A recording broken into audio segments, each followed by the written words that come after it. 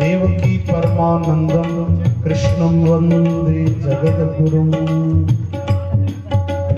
ॐ वंशी विभूषित करानवनीरदाभा पीताम्बराधरु बिल्वफलाधरोष्ठा पुणेन्दु सुन्दर मुखादर विन्दनेत्रा कृष्णात् परं किमपि तत्त्वमहं न जाने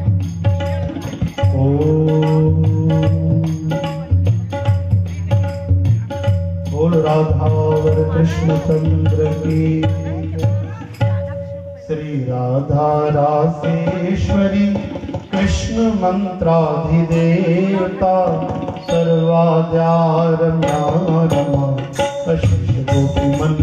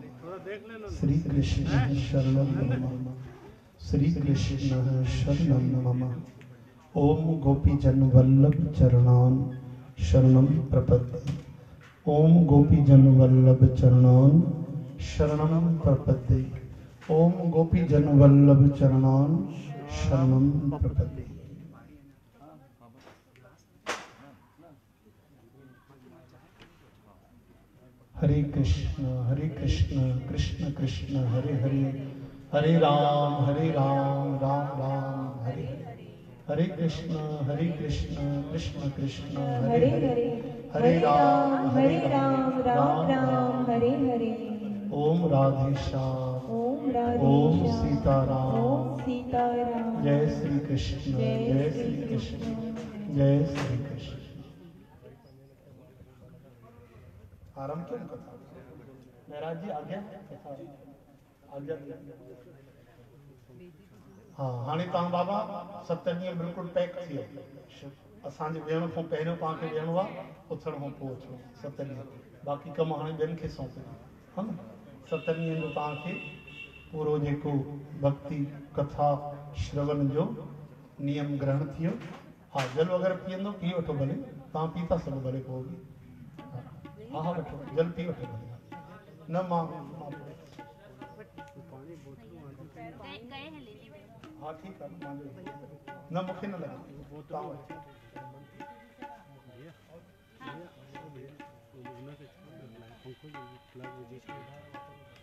श्री कृष्ण गोविंद हरे मुरारे हे नाथ नारायण। वासुदेव गोपाल दामोदर दीन दीन दयाल पूर्ण कृपाल आइए सब मिलकर युगल सरकार श्री राधा माधव श्रीमद् भागवत भगवान की शरण ले और हृदय से प्रार्थना करें कि हे हरि हे राधा रानी हे श्री कृष्ण आप करुणा करें कृपा करें आशीष करें कि सात दिन आपके भक्ति के प्रेम के, आपकी कथा हमारे हृदय में बसे। ऐसी करुणा करें कि हमारा रोम रोम आपके प्रेम से पुलकित हो उठे। हम आपके शरण हैं प्रभु। आप हमें विषय वासना से बचाकर, माया से बचाकर अपनी गोद में बिठाएँ। रक्षा करें, अपनी भक्ति का अनुपम उपहार दें। हम आपके शरण हैं। कृपा करें आपकी कथा हमारे हृदय में बसे, रोम रोम में बसे। और जो भी कथा श्रवण कर रहे हैं, बैठे हैं, जिन्होंने भावना की है, प्रभु कृपा करें, उनका भी कल्याण हो, सबका भला हो। और जिनके निमित्त की जा रही है, उनका भला हो। जिनके लिए भावना की जा रही है, प्रभु, उनका भी मोक्ष हो। आप कृपा करें। सर्वांतरयामी है। और सुधार है सो सब भांति जहाँ सु कृपा नहीं कृपा खाती आइए हमारे साथ पाँच बार द्वादश अक्षर मंत्र का स्मरण करेंगे। ओम नमो भगवते वासुदेवाय। भगवते वासुदेवाय। ओम नमो भगवते वासुदेवाय। ॐ नमो भगवते वासुदेवाय। ओम नमो भगवते वासुदेवाय। ॐ नमो भगवते वासुदेवाय।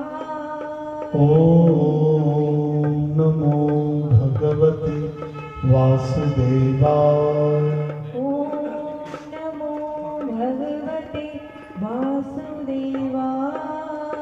ओम नमो भगवते वासुदेवाय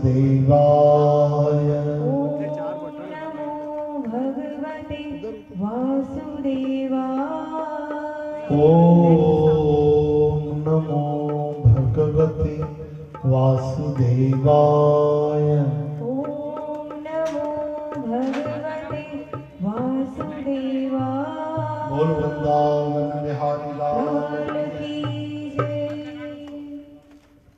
सरकार श्री राधा माधव भगवान, श्रीमद् भागवत भगवान, श्री सतगुरुदेव भगवान, सर्व संत भक्त महात्मा गण हनुमान आदिक महात्मा, अदृश्य दृश्य, हमारे पूज्य आचार्य ब्राह्मण देवता श्री राम रुद्र पांडे जी महाराज और सर्व साथ संगत जी, आप सबके चरणों में प्रणाम करके आइए आज प्रथम दिवस श्रीमद् भागवत कथा के अमृत का आरंभ करेंगे।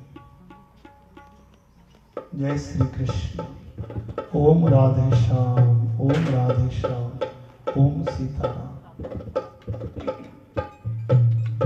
आइए सबसे पहले पहले श्लोक श्रीमद् भागवत महापुराण के मधुर प्रेम भक्ति ज्ञान में प्रभु की महिमा का श्लोक हम मिलकर गाएँगे। मेरे साथ एक बार मैं बोलूँगा एक बार आप बोलिएगा। ओम सचिदानंद रूपाय। बोलो। सचिदानंद रूपाय। विश्वोत्पत्त्याद हेतवे। विश्वोत्पत्त्याद तापत्रय विनाशाय। तापत्रय पापत्रयविनाशाय श्री कृष्णाय वयं नमः। श्रीकृष्णाय वयं नमः। ओम सचिदानंद रूपा भगवान का स्वरूप कैसा है?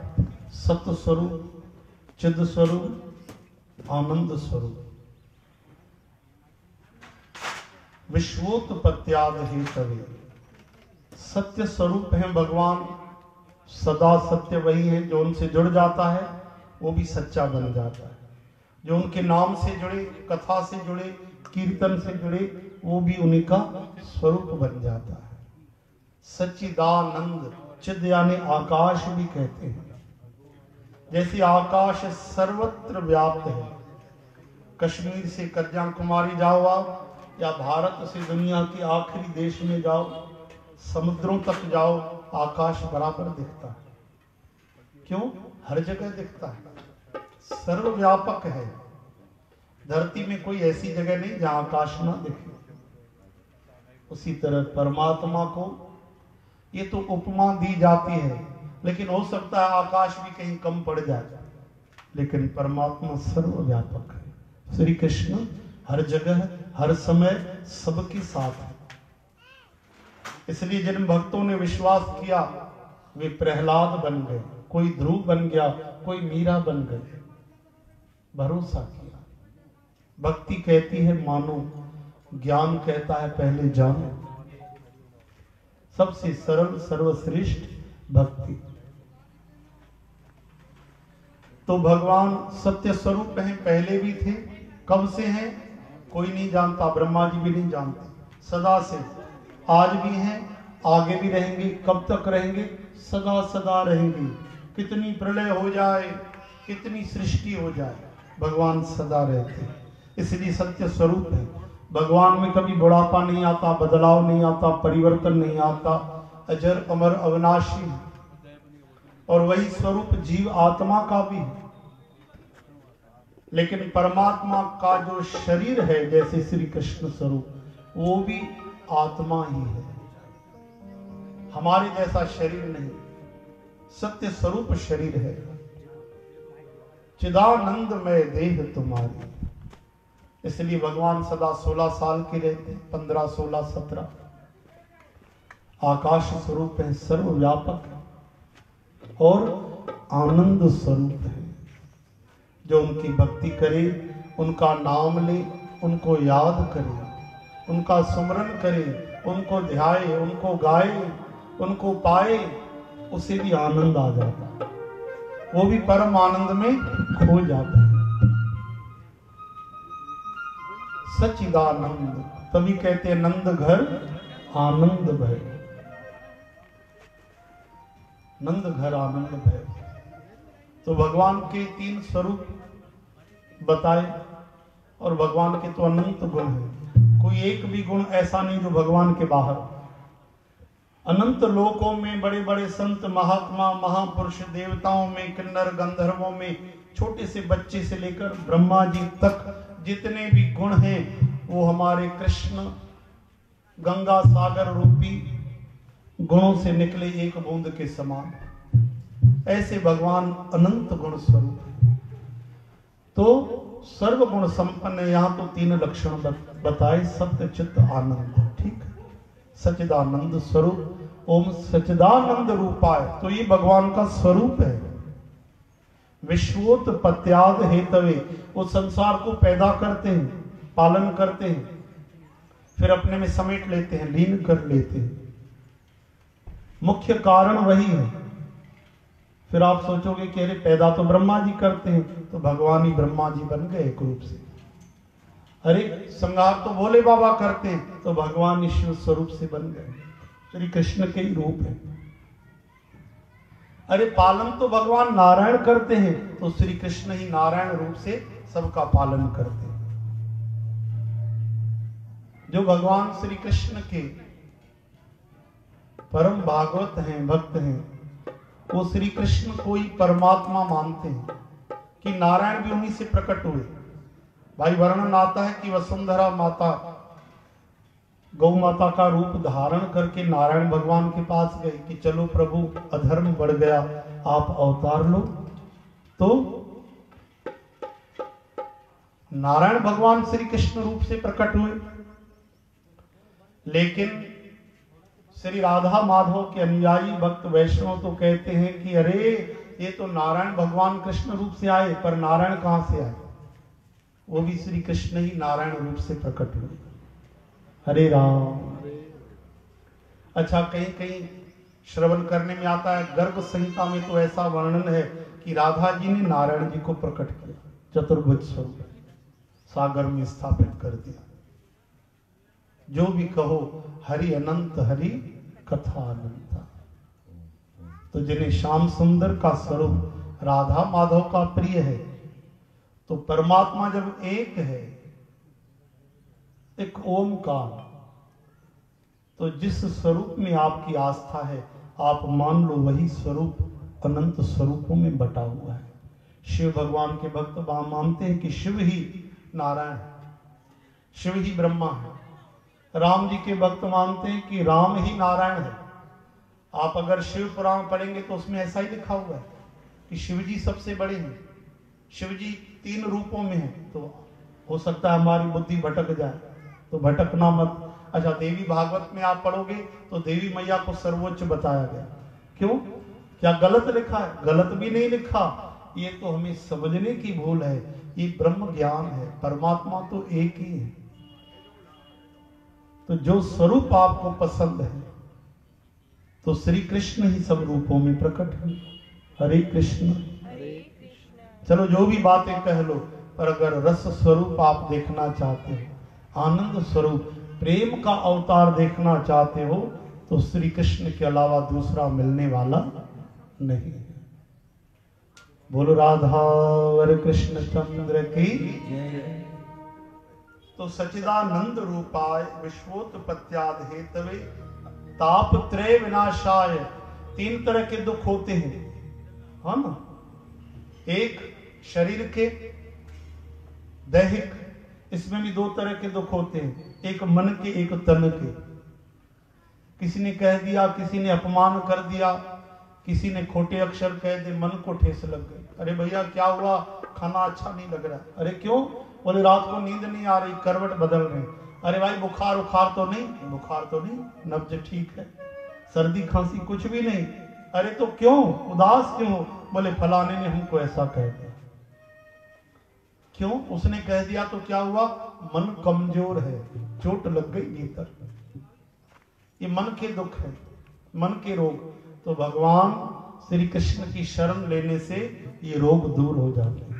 और तन के रोग तो आप जानते हो थोड़ी सी छींक आ जाए, या फिर कैंसर हो जाए, कोरोना हो जाए, संसार छोड़ो ना हो जाए, ये सब के सब जो रोग हैं, वो भी भगवान गोविंद की शरणागति से दूर हो जाते हैं, यानी आदमी अभय हो जाता है। तो मन के तन के दुख दूर हुए, ये हुए दैहिक, और दूसरे होते हैं भौतिक। भौतिक कैसे? बाढ़ आ गई। नहीं माफ़ कीजिए जैसे कोई प्राणी आ गए कहीं से शेर आ गया हाथियों का झुंड आ गया टिड्डी आ गई पाकिस्तान से सफल चौक जो भी फ़सल थी चौपट हो गई। हरे कृष्ण जो भूत प्राणियों से कहीं शेर आ गया कहीं सांप आ गया बिच्छू ने नस लिया ये संसार के जो कष्ट होते हैं, कहीं मकान गिर गया, कहीं कुछ हो गया। और तीसरे दुख होते हैं, दैविक सब कुछ बढ़िया हुआ। हमने अनाज भी बो दिया, समय भी हुआ, लेकिन महाराज ऐसे ओले पड़े कि पूरी फ़सल चौपट हो गई। सब कुछ बढ़िया चल रहा था, सुनामी लहर आ गई, जय गोपाल हो गया। सब कुछ ठीक ठाक था, पता नहीं कहाँ से कोरोना आ गया। क्या हो गया? बीमारियाँ आ गई। हरे कृष्ण। तो दैवीय कोप भी होता है। जब धरती माता देखती है कि इंसान आज़ादी का दुरुपयोग कर रहे हैं, मन माने ढंग से कोई भी किसी भी तरह का पाप कर रहा है तो प्रकृति माता या भगवान का इशारा कहो ऐसे ऐसे त्रास आते हैं, ऐसे कष्ट आते हैं कि जिनका उपचार बड़े बड़े मंत्रियों के पास बड़े बड़े रक्षा करने वालों के पास भी नहीं होता। सब बेचारे कमज़ोर पड़ जाते हैं। इसलिए जब हम धर्म को छोड़ते हैं तो विनाश आता है। इसलिए धर्मो रक्षति रक्षित है। जो धर्म की रक्षा करते हैं, धर्म उनकी रक्षा करता है। तो इस तरह के तीन तरह के जो भी दुख है, इन तीन भागों से बाहर नहीं आते।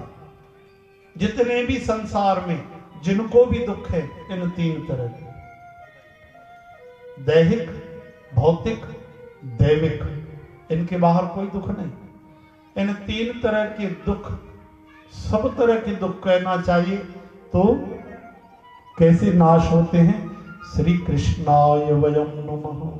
भगवान राधा माधव के चरणों में जब श्रद्धा से भरकर मस्तक झुका देते हैं तो बड़े बड़े संसार के जब उपाय व्यर्थ हो जाते हैं, वो केवल प्रणाम करने से दुख दूर हो जाते हैं। कई बार आपने सुना होगा, धरती घूम आए लोग, अमेरिका से वापस आ गए, इलाज नहीं हुआ, फिर क्या हुआ? भगवान का नाम लिया, भगवान की शरण ली, पता नहीं पड़ा, सब हैरान हो गए, अपने आप वो बीमारी टल गई। ऐसे एक नहीं, हज़ारों केस भरे पड़े। अच्छा हमारे छोड़ो, आप कई डॉक्टर बड़े बड़े उनके अनुभव हैं। वैज्ञानिकों के नाम सहित, शहर सहित, उनके अक्षर भरे पड़े हमारे पास ऐसे ग्रंथ हैं, आप पढ़ सकते कि जिनमें डॉक्टर, वैज्ञानिक, कई पायलट, जो भगवान को नहीं मानते थे, नास्तिक थे, उनका भरोसा होता सोई जान जे देह जना भगवान की एक करुणा नज़र की देर है। हरे कृष्ण। तो ऐसे परमात्मा भगवान श्री कृष्ण के चरणों में प्रणाम करते हैं। भगवान सुखदेव महाराज जिन्होंने कथा का अमृत हमें पहुँचाया परीक्षित जी के माध्यम से। वो सुखदेव भगवान जिन्होंने जन्म लिया और उठकर चलते गए। पीछे पीछे पिता दौड़े कि बेटा, ओ बेटा, कहाँ जा रहे हो हमें छोड़कर? आवाज़ नहीं दी। वृक्षों ने आवाज़ दी, पेड़ों ने आवाज़ दी, महाराज। वो सुनने वाले नहीं। वो तो खो गए श्री कृष्ण उनको माया पकड़ नहीं सकती, परिवार का मोह जकड़ नहीं सकता। ऐसे सुखदेव भगवान के चरणों में बारंबार प्रणाम करते श्री कृष्ण गोविंद हरे मुरारी श्रीनाथ नारायण वासुदेव गोपाल दामोदर तो एक बार की बात नैमिषारण्य में हज़ारों ऋषि एक साथ इकट्ठे हुए। अठासी हज़ार। उनमें मुख्य थे शौनक महाराज। बड़े विद्वान ज्ञानवान। वे सब इकट्ठे होकर भगवान व्यास जी के शिष्य, सुत जी महाराज के चरणों में प्रणाम करते हैं, पूजा करते हैं, उनको व्यास आसन पर बिठाकर और सवाल करते हैं कि हमको आप श्री हरि की कथा सुनाइए। मन में जो जो जिज्ञास, जिज्ञासाएँ थी, प्रश्न थे वो किए। तो ध्यान दीजिए, सूत जी महाराज वेदों के शास्त्रों के पारदर्शी महात्मा है। महान ज्ञान जानते हैं। सृष्टि, रचना, प्रलय, परमात्मा ने कैसे प्रकट किया सबको, कैसी सृष्टि चली, सब ज्ञान जानते हैं। बड़े विद्वान, बड़े ज्ञानवान। उन सूत जी महाराज के चरणों में हम प्रणाम करते हैं। शौनकादि ऋषि प्रणाम करके उन्होंने एक हज़ार साल की छुट्टी ली। जैसे रायकेश परिवार ने सात दिन की छुट्टी ली ये ना सही बल्कि आठ, नौ दिन की। एक दिन पहले से तैयारी कम से कम करनी पड़ी होगी, और एक दिन बाद भी कुछ चलती रहता है। तो नौ दिन की जैसे इन्होंने छुट्टी ली तो शौनक आदि ऋषियों ने कितने दिनों की छुट्टी ली? एक एक साल नहीं, एक हज़ार साल। सात दिन से उनका पेट भरने वाला नहीं है। ऐसी श्रद्धा ऐसी निष्ठा। ये तो कलयुग में हमारी छोटी उम्र है। सात दिन भी बहुत अच्छी बात है। सात दिन कोई तीन घंटे बैठे तो बड़ा लाभ होता है। श्री कृष्ण गोविंद गोपाल दामोदर।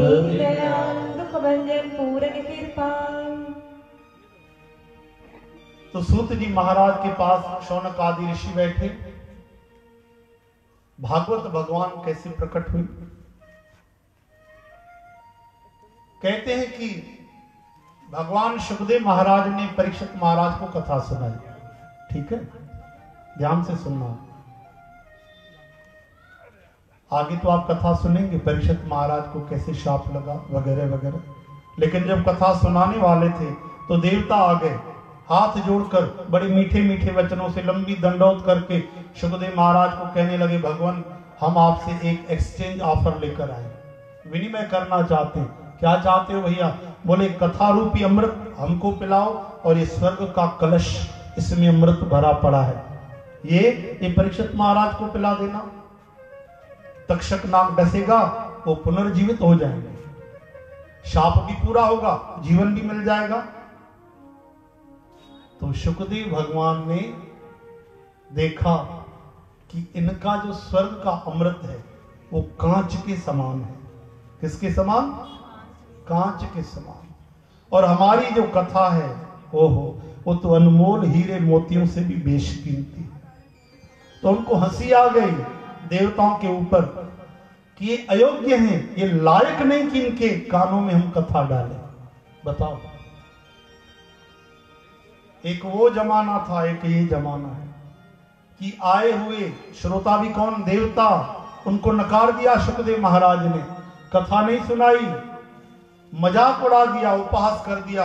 कहा, चलो जाओ आप, ये कथा हम आपको नहीं सुना सकते। न आपके अमृत की हमको परवाह है। इस अमृत को पीने के बाद भी आदमी सदा अमर नहीं होगा। कुछ दिन के बाद फिर छोड़ना ही पड़ेगा जीवन।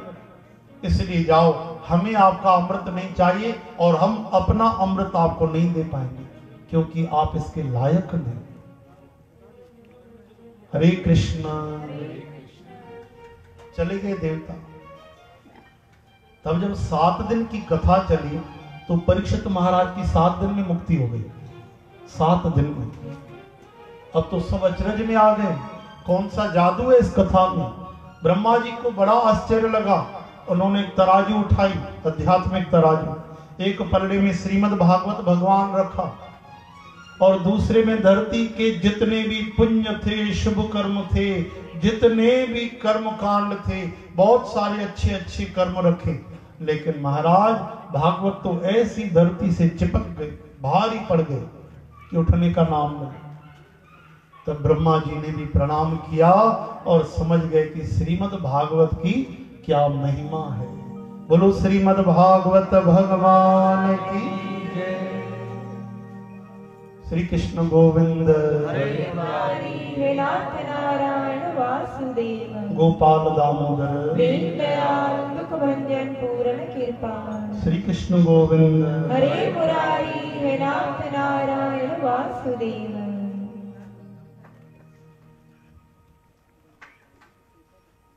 तो शौनक आदि ऋषि पूछते हैं कि महाराज, ये कथा किसने किसको बताई? तो बोले, एक बार नारद जी महाराज को सनकादि ऋषियों ने कथा सुनाई। नारद जी को सनकादि ऋषियों ने? महाराज, आप विस्तार करके बताइए, कैसे, किस तरह कौन सी परिस्थिति थी, क्या बात थी कि उन्होंने उनकी कथा सुनी? कैसे ये महासंयोग हुआ? तो सूत जी महाराज कहते हैं कि ध्यान से सुनिए। एक बार बद्रिकाश्रम में सनकादि ऋषि बैठे थे। सनक, सनंदन, सनातन, सनत कुमार। चारों ऋषि बैठे थे और चारों पाँच साल के बच्चे जैसे रहते। महाज्ञानी, महाविद्वान। उम्र तो इनकी करोड़ों साल से ऊपर लेकिन पाँच साल के दिगंबर बच्चे बने रहते। और एक इनको बहुत बड़ा नशा है। नशा? हाँ। कौन सा हरि की कथा का? और कोई मिले न मिले, चार में एक कहने वाला वक्ता बन जाते हैं और तीन श्रोता बन जाते हैं। और कथा का अमृत बरसात चलती रहती है। कभी बंद नहीं होती कथा। आशा वसन व्यसन यह नहीं, रघुपति चरित होत तह सुनहि एक ही नशा, एक ही आदत। जैसे किसी को नशे की आदत, किसी को चाय का नशा किसी को कोई तो किसी को कोई नशा। इनको केवल कथा का नशा। हरे कृष्ण। अच्छा एक बात बताओ आप, इंसान कर क्या सकता है? कलयुग में और क्या कर सकता है बताओ? हम तपस्या कर पाएँगे? नहीं कर पाएँगे। अच्छा बड़ी बड़ी बातें कहना सरल है। हम समाधि लगा पाएँगे? अरे, एक दो घंटा ध्यान में बैठ गए, बहुत बड़ी बात। है समाधि में स्थित हो, हमें तो कोई दिखते थे और अगर करोड़ों में कोई एक मिल गया तो उसे पृथ्वी का उद्धार होने वाला नहीं। बड़े बड़े यज्ञ हवन भी आजकल शुद्धता से नहीं होते। लोग दस बारह घंटे बैठ ही नहीं पाते। तीन घंटे तो बैठते नहीं कथा में, कहा बारह घंटा बैठेंगे? हरे कृष्ण। अब आप बताइए, क्या करे इंसान? तो भगवान को करुणा आ गई। कहा, सबसे सरल और सर्वश्रेष्ठ मेरी भक्ति है। भगवान श्रीमद भागवत में इसीलिए प्रवेश कर गए कि कलयुग के लोग सरलता से, प्रेम से, बस एक ही शर्त है, क्या? भाव। श्रद्धा। भाव के साथ, श्रद्धा के साथ जो भी कथा श्रवण करेंगे, कहेंगे, सुनेंगे, मनन करेंगे, अध्ययन करेंगे, उनको निश्चित लाभ होगा पक्का लाभ होगा ऐसे भक्त कभी भी उनका अनिष्ट नहीं हो सकता। कभी नरक नहीं जा सकते, कभी चौरासी लाख योनियों में नहीं जा सकते। उनका उद्धार पक्का है, हो सकता है इस जन्म में शिथिल भक्ति हो तो फिर जन्म लेके आना पड़े। दो तीन जन्म लग जाए, कितने जन्म लग जाए, पर श्रद्धा पक्की हो और लगन हो, लक्ष्य हो तो एक ही जन्म में मुक्ति मिल जाए श्री कृष्ण गोविंद हरे मुरारी हे नाथ नारायण वासुदेव और मुक्ति की कौन कहे? मुक्ति निरादर भक्ति लुभाने। मुक्ति हूँ लोन सी खारी लागे। भगवान के प्यारे भक्तों को तो मुक्ति भी नमक जैसे खारी लगती है। ये तो केवल प्रेम करना चाहते हैं कि प्रभु आप जहाँ रखो जैसे रखो हमें तो प्रेम चाहिए आपका। हमें तो विरह चाहिए। श्री कृष्ण गोविंद हरे मुरारी हे नाथ नारायण वासुदेव गोपाल दामोदर पूरन कृपा तो एक बार की बात बद्रिकाश्रम में सनकादि ऋषि बैठे थे। इतने में नारद जी महाराज आए और नारद जी आते ही आते वीणा बजाते क्या कहने लगे? नारायण नारायण। थोड़ा और प्रेम से? नारायण। थोड़ा भाव से भाई। और उमंग से। नारायण नारायण नारायण नारायण। नारद जी महाराज कभी भी हरि नाम के बिना बात नहीं करते, याद रखना। मुख से एक शब्द बाद में निकलता है, पहले नारायण का नाम निकलता है। भगवान नारायण ने उनको खुद वीणा दे के रखी कि नारद जी, आप सारा दिन हमारा कीर्तन करते हो, ये वीणा भी बजाते रहना। और सुनो, जो भी बेचारे संसार सागर में भटक रहे हैं, कीर्तन से जोड़कर उनका भी बेड़ा पार करते रहना। तब से गाते रहते हैं नारद जी। क्या गाते हैं?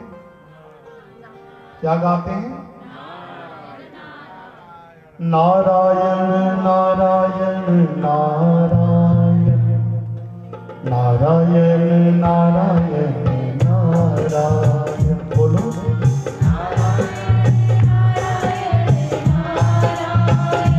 हरि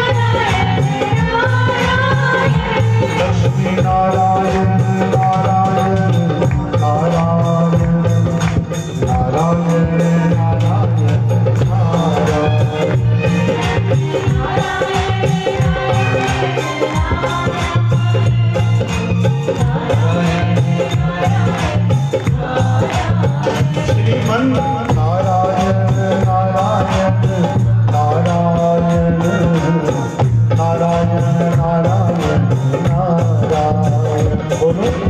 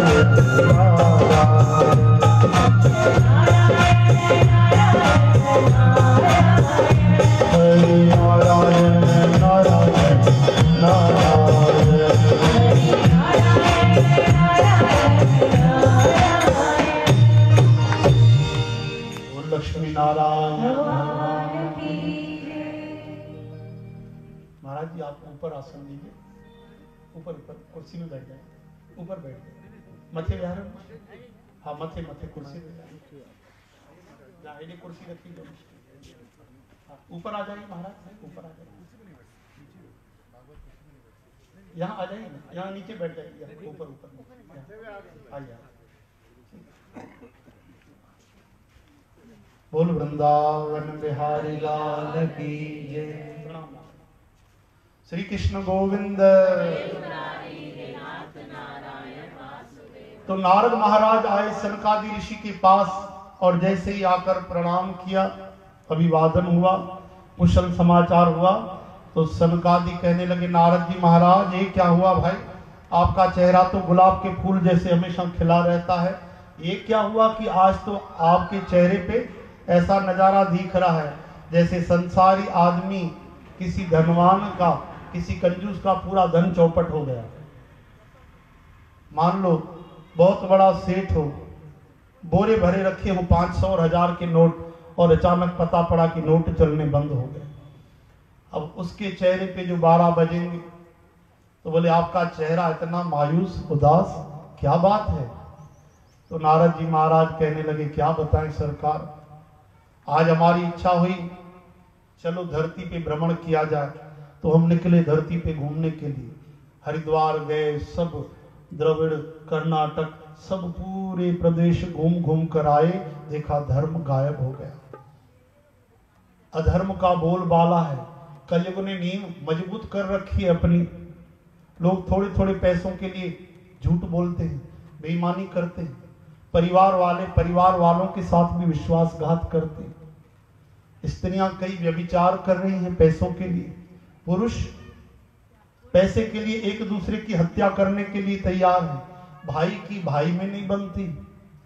हम क्या बताएँ? इतने अधर्म, इतने पाप, अत्याचार, दुराचार, बढ़ गए। वो लंबी कहानी लिखी है श्रीमद भागवत में। लेकिन महाराज, चलो इसकी भी बात छोड़ो। और जो हम आगे बढ़े, घूम के वृंदावन पहुँचे, चलो वृंदावन जाते हैं। हरिद्वार से वृंदावन गए। वहाँ क्या देखा? एक सुंदर स्त्री। हाय हाय कर रही है लंबी लंबी साँसें ले रही है। क्यों? क्योंकि उसके गोद में दो बुज़ुर्ग लेटे हुए मस्तक रख के। बुज़ुर्ग और वो स्त्री बड़ी सुंदर और भीड़ इकट्ठी हुई है। कई देवियाँ सेवा कर रही हैं। कोई पंखा झूल रही है कोई जल के छींटे लगा रही है कोई हवा कर रही है। कहीं कुछ कई तरह के मंत्र पड़े जा रहे हैं ले, लेकिन उनको होश नहीं आ रहा। मैंने पूछा जाकर, देवी, आप कौन हैं? ये सब क्या हो रहा है? तो उसने कहा, महर्षि, मेरा नाम भक्ति है। मैं भक्ति हूँ। आप दुखी क्यों हैं? ये बुज़ुर्ग तो कौन है? बोले बुज़ुर्ग नहीं, मेरे बेटे हैं। कलयुग का ऐसा असर हुआ कि ये बूढ़े हो गए। भक्ति के बेटे? क्या नाम है इनका? बोले, एक का नाम ज्ञान, दूसरे का नाम वैराग्य। महाराज, मैं क्या बताऊँ? मैं घूमते घूमते पहुँच रही थी और द्रविड़ देश में मेरा जन्म हुआ और कर्नाटक में बड़ी हुई। महाराष्ट्र में तो बुढ़ापा आ गया। महाराष्ट्र में कई सम्मान हुआ। गुजरात में बुढ़ापा आ गया।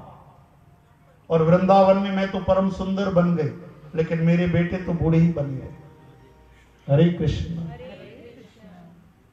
अब बताओ, जिसकी माँ सुंदर युवा हो, बेटे बूढ़े बन जाए उस माँ को कितनी पीड़ा होगी और इतना भी छोड़ो, इनको तो होश ही नहीं आ रहा। बेहोश हो गए। तो बोले अच्छा मंत्र वगैरह पढ़े? बोले, कई मंत्र पढ़े। वेद के मंत्र पढ़े नारद जी महाराज ने। तब भी नहीं उठे। गीता पाठ मुहुर मुहुर। गीता के पाठ पढ़े तो थोड़ा होश आया, लेकिन फिर बेहोश हो गए। बोले तो क्या करें इनके लिए कि इनको होश आ जाए? देवी, आप घबराओ मत। भक्ति युवा है, ज्ञान वैराग्य बूढ़े, इसका आप अर्थ समझना। भक्ति युवा है। अभी आप कहाँ बैठे हो? भक्ति में तो बैठे हो। आज जितनी भागवत कथाएँ चल रही है ना, शायद द्वापर में नहीं चलती होगी आज जितनी कथाएँ हो रही हैं, भक्ति तो बहुत बड़ी है। मंदिरों में भीड़ लगी है। जाओ तो सही आप। अभी होली में जो गए होंगे वृंदावन, उनको पता होगा कितनी भीड़ है। सिनेमा हॉल में भी इतनी भीड़ नहीं मिलेगी जितनी वृंदावन में। तिरुपति बालाजी जाओ आप, देखो कितनी भीड़ है। कैसे दर्शन होते, कितना समय लग जाता है। भक्ति में कमी नहीं, भक्ति तो बहुत बड़ी है, लेकिन ज्ञान किसी को टिकता नहीं, वैराग किसी को नहीं। पूजा भी करते हैं, आरती भी करते हैं बड़े बड़े आयोजन भी करते हैं और दो पैसे के लिए झूठ भी बोल देते हैं, कपट भी कर देते हैं। यानी ज्ञान भी नहीं, वैराग्य भी नहीं। कैसे काम चले? हरे कृष्ण। देवर्षि नारद जी ने कहा, देवी, आप घबराओ मत। मैं उपाय करूँ, पर क्या करूँ? इनका उपाय क्या है? तो आकाशवाणी हुई, सत्कर्म करो। क्या करो? नारद जी ने कहा, ये लोग तो हम क्या कर रहे थे इतनी देर से? ये सत्कर्मी तो है, वेद के पाठ सत्कर्म नहीं। पूजा, कर्म, कांड, इतने सारे सत्कर्म तो किए। और सत्कर्म कौन सा है? नारद जी निकले। तो सब जो ऋषि, मुनि, संत, महात्मा थे, बोले, महाराज, आप पूछ रहे हो, आप तो साक्षात ब्रह्मा जी के बेटे हो, भगवान के मानस अवतार, हम क्या बताएँगे आपको? कोई अभिमानी कहने लगा, हमारा तो मौन है, चुप हो गए। कोई नहीं बता रहा। देवर्षि नारद जी ने कहा, देवी, आप घबराओ मत, मैं वचन देता हूँ, आपको घट घट में स्थापित करूँगा। आपके बेटे युवा होंगे, ज़रूर होंगे। और निकले। नारद जी ने कहा, एक काम करते हैं, सीधा हम भगवान नारायण से पूछते हैं। नर नारायण बद्रिकाश्रम में तपस्या कर रहे हैं। तो हम तो जा रहे थे नर नारायण भगवान से पूछने की रस्ते में, आप मिल गए तो आप ही बता दो। हरे कृष्ण। अब सनकादि जी कहने लगे नारद जी बस इतनी सी बात। ये लो आपको इतनी सी बात लगती। उधर कोई उपाय कारगर नहीं होता। बोले याद करो इनका तो एक ही उपाय है। क्या? बोले श्रीमद भागवत कथा। बोले अच्छा? हाँ उन्हीं से ठीक हो जाएँगे। अरे आपको याद नहीं? नारद जी आप ही ने वेद व्यास जी महाराज को जब शास्त्रों की रचना कर रहे थे, बड़े उदास थे। आप ही ने कहा कि भागवत की रचना जब आप करोगे तो आपको शांति मिलेगी। तो नारद जी ने कहा, महाराज, हमें बात समझ में नहीं आई। वेदों के मंत्र भी तो हमने बताए। तो भागवत भी तो वेदों के अंतर्गत है। तो सनकादि ने बहुत अच्छे ढंग से समझाया। बोले, सुनो, आपको अगर दीपक जलाना है तो किसका दीपक जलाओगे? घी का जलाओगे? हम? भाई तेल से शुद्ध क्या माना जाता है? घी। और जो भी धार्मिक अनुष्ठान होते हैं, उनमें घी का दीपक, वो भी गाय के गाय के दूध से बने घी का दीपक जलता है। यज्ञ हवन गाय के दूध के बिना सफल नहीं होते, घी के बिना।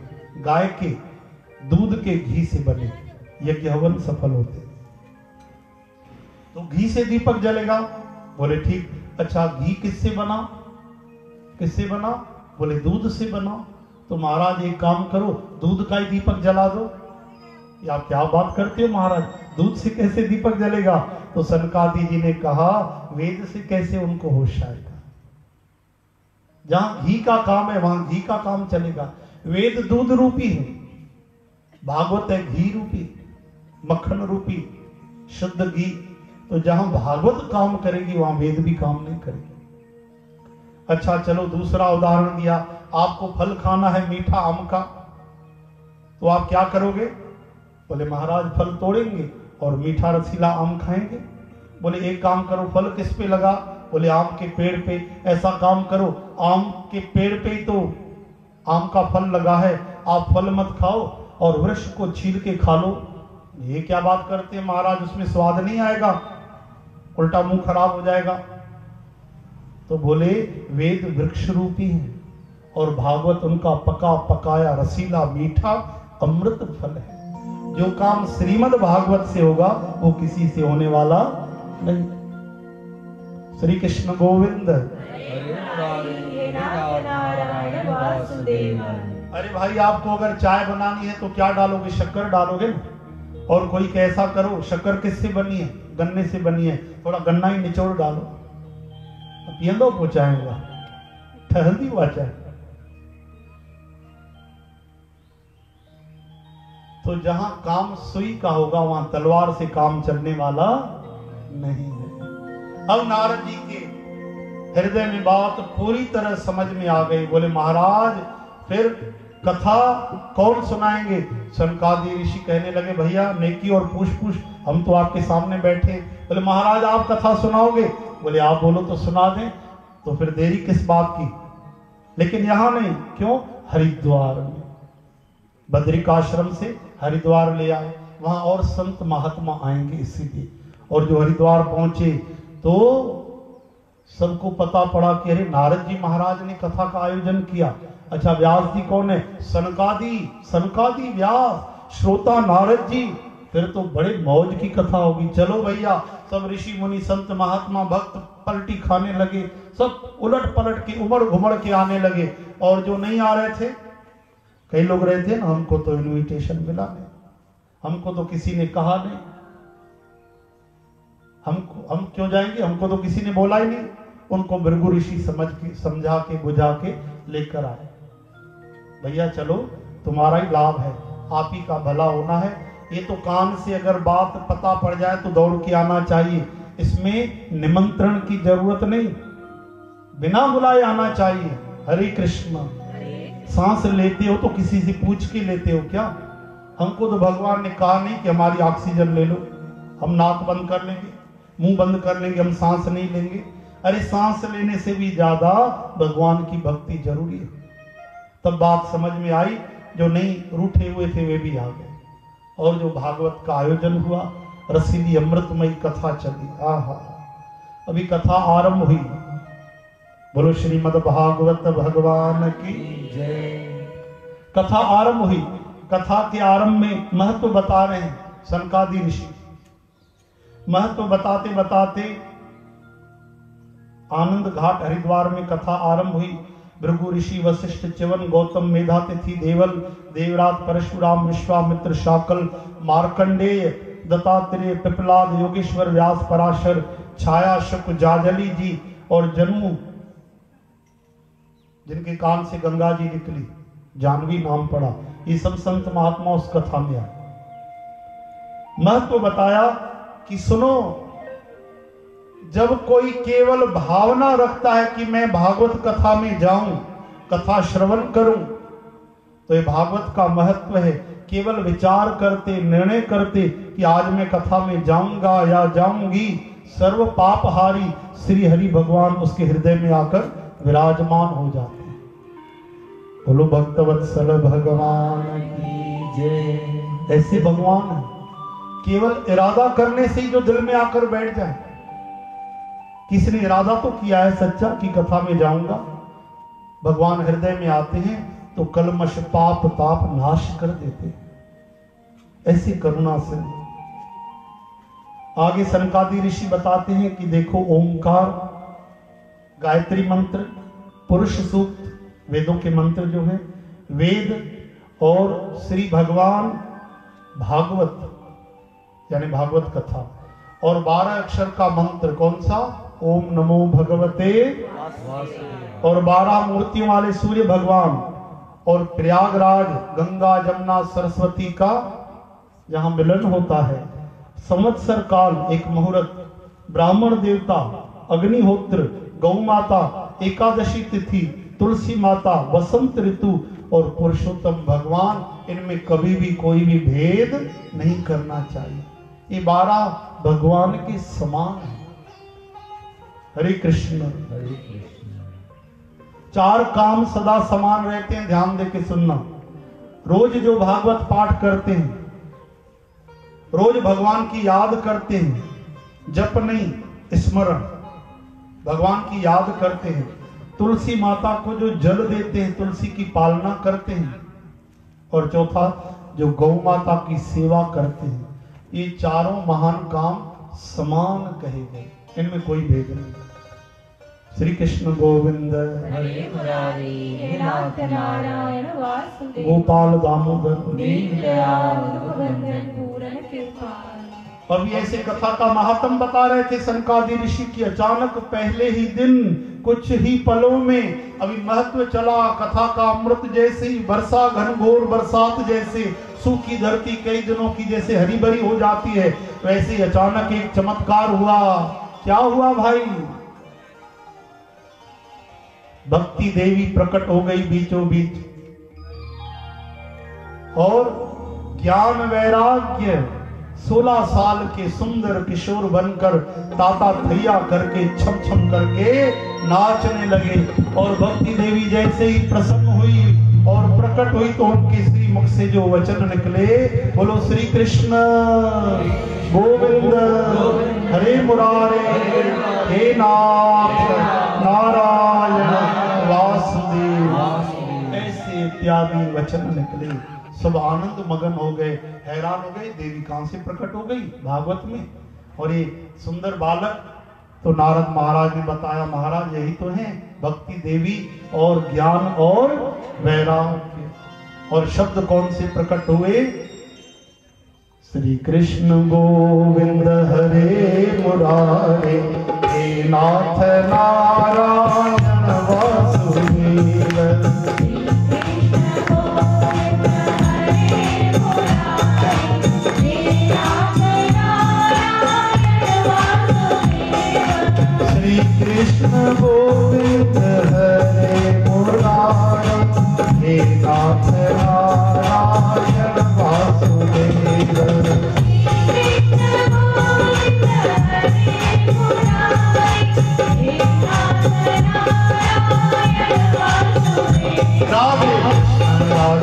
राधे राधे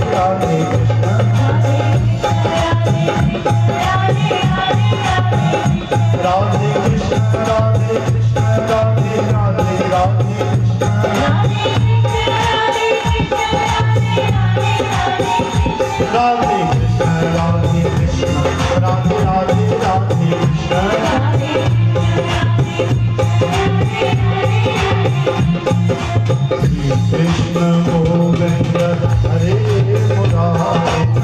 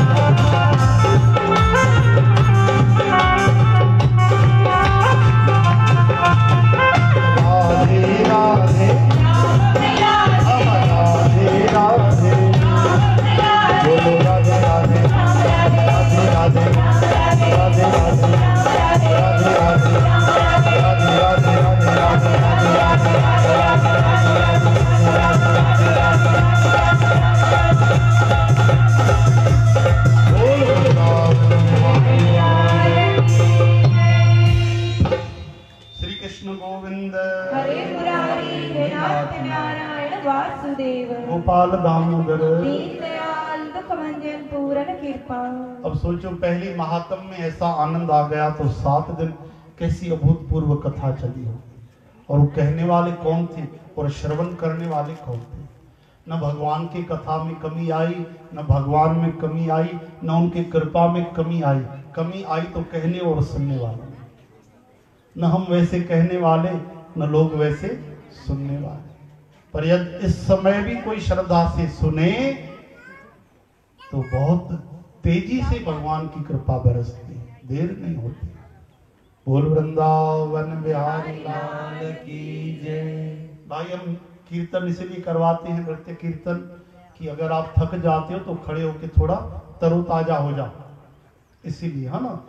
तो जो तीन घंटे बैठना है, अभी तो दो घंटे और बैठना है आपको। तो थक जाओ तो आप खड़े होकर बढ़िया मस्ती से, भले नाचो मत, खड़े होकर कीर्तन किया करो।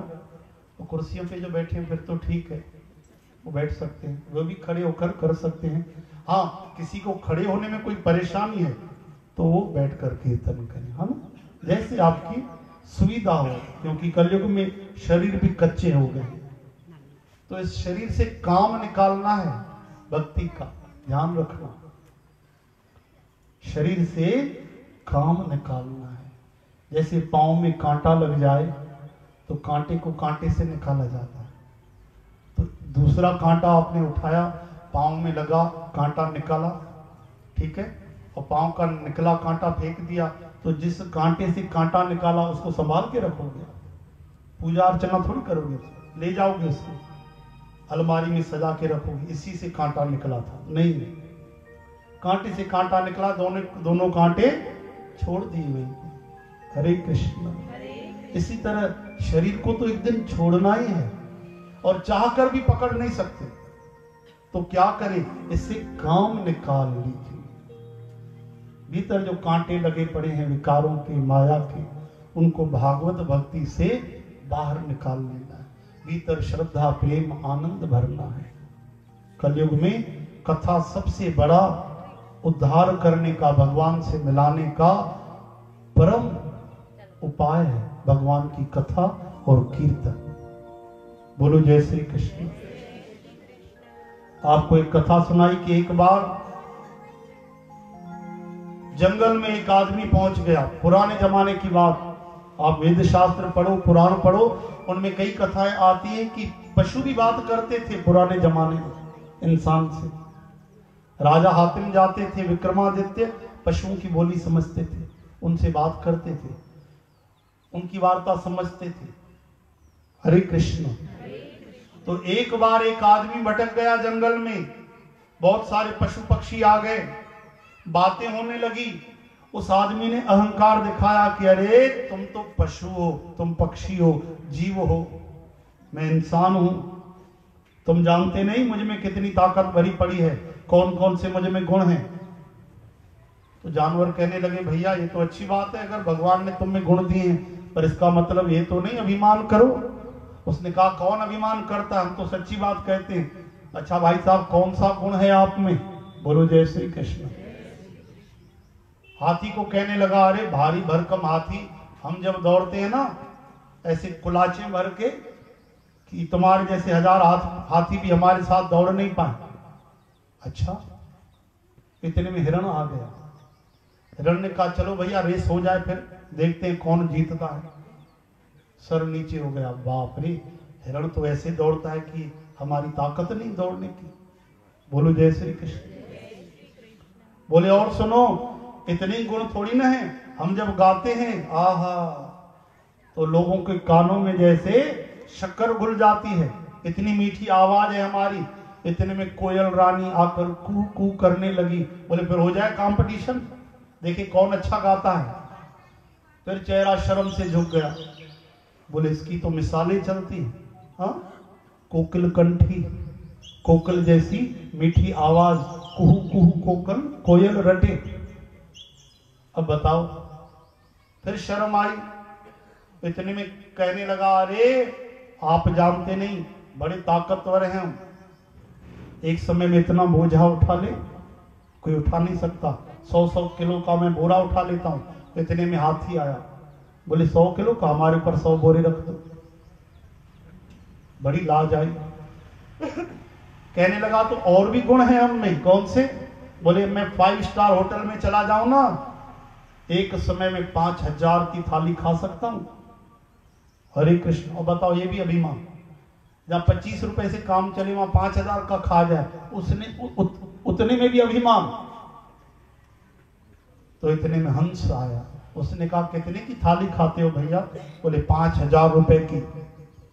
बोले, हमारा निवाला एक करोड़ों रुपए का। हीरे चुगते हैं, रतन खाते हैं। बड़ी शर्म आई। बोले, अरे हटो, मैं तुम्हें पकड़ू तो मरोड़ के फेंक दू। इतनी ताकत है हमें लड़ नहीं पाओगे तुम हमसे। हंसो तो क्या हो गया? इतने में शेर आया। बोले, भाई साहब, इधर आओ, ये आपकी हमारी बात है। चलो, हो जाए, कुश्ती। तो इतना थर थर आने लगा, बोले, नहीं नहीं नहीं, मैं तो मज़ाक कर रहा था।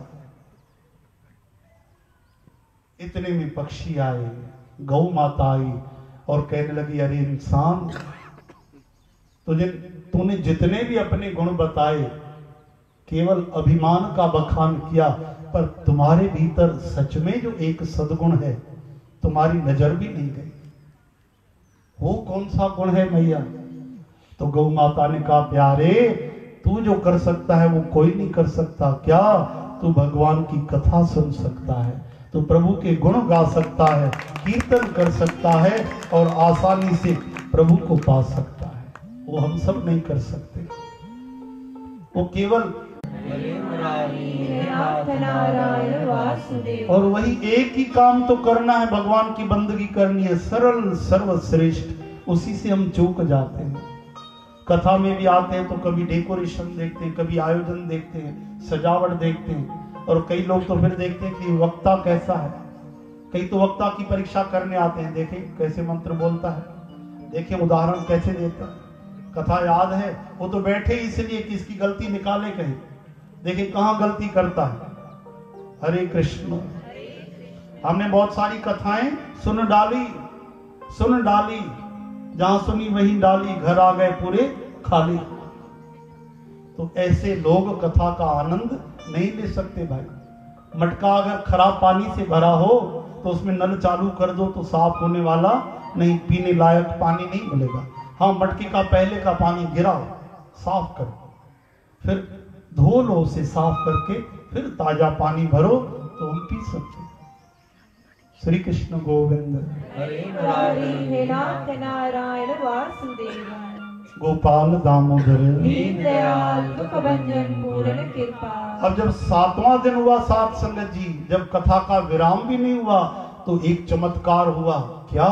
सनकादि ऋषि कथा कह रहे नारद जी महाराज ने कीर्तन कथा के विराम समय छेड़ दिया मालकों श्राम ऊपर से उद्धव जी महाराज प्रकट हुए। अर्जुन महाराज प्रकट हुए और राजा इंद्र देवराज स्वर्ग के वे भी प्रकट हो गए, प्रहलाद महाराज प्रकट हो गए। और सुखदेव भगवान साक्षात कथा का अमृत पिलाने वाले बड़े मंत्र उच्चारण करके भाव भंगिमा के सहित गाने लगे। कोई ताली बजा रहा है, कोई करताल बजा रहा है कोई वीणा छिड़ रहा है, कोई मधुर कंठ से अर्जुन गाने लगे और जब सब भक्त प्रकट हो गए तो हमारे राधा माधव भगवान कैसे छिप सकते हैं और तत्काल भगवान भागवत के बीच में साक्षात बांके बिहारी प्रकट हो गए बोलो, रास बिहारी भगवान की, राधा कृष्ण चंद्र की श्रीमद भागवत भगवान। नैना भी राम, भगवान की छवि कैसी है? बोले, भगवान इतने सुंदर है। आहा, अगर किसी ने आँखें देख ली ना तो आँखों में डूब जाता है। वो सारा दिन गुजर जाए, उसे इतनी ताकत नहीं कि आँखों से बाहर निकले, फिर भगवान के बाल देखे या सुंदर गाल देखे। जिसने गालों को देख लिया तो वहीं अटक गया।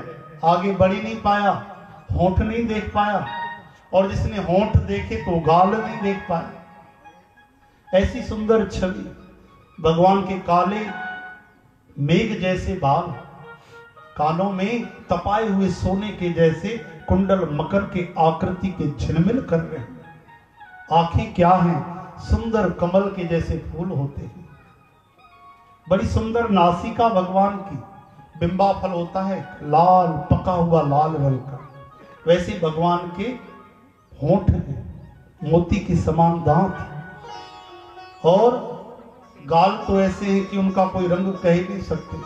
कहने के लिए कह दिए कि भैया मेघ के समान नवीन जलधर मेघ जो होते हैं नया नया पानी लिए जो बादल होते हैं, वैसा नील वर्ण उनका। लेकिन भगवान का रंग तो भगवान का है। और जिसने भगवान के चरण देख लिए, किसी ने नखर देख लिए तो उसी रोशनी में अटक गए। ऐसी सुंदर छवि। श्री कृष्ण गोविंद।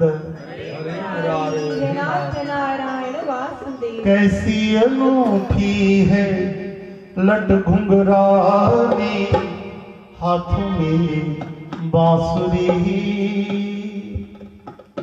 श्याम वरण पीताम्बर सोहे मोहनी माधुरी।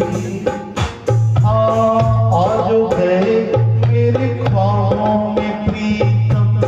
हमको संवर जाएँगे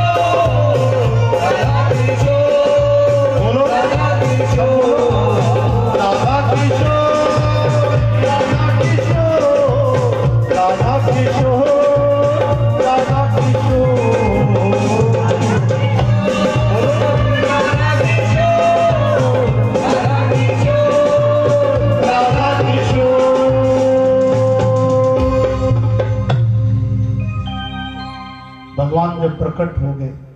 सब भक्तों के नेत्र छलक आए। आँसू आ गए, प्रेम की खुशी की। चरणों में दंडवत करी, स्तुति करी और भगवान ने कहा, मैं आप सबसे बड़ा प्रसन्न हूँ। आप वरदान मांग लो। देखो, भगवान आते तो वरदान देते। बोलो, जय श्री कृष्ण। आप क्या मांगोगे आपके ऊपर? हरे कृष्ण। आपके पास अगर अचानक भगवान आ जाए और कहे कि वरदान मांगो तो क्या मांगोगे बता? सच बता?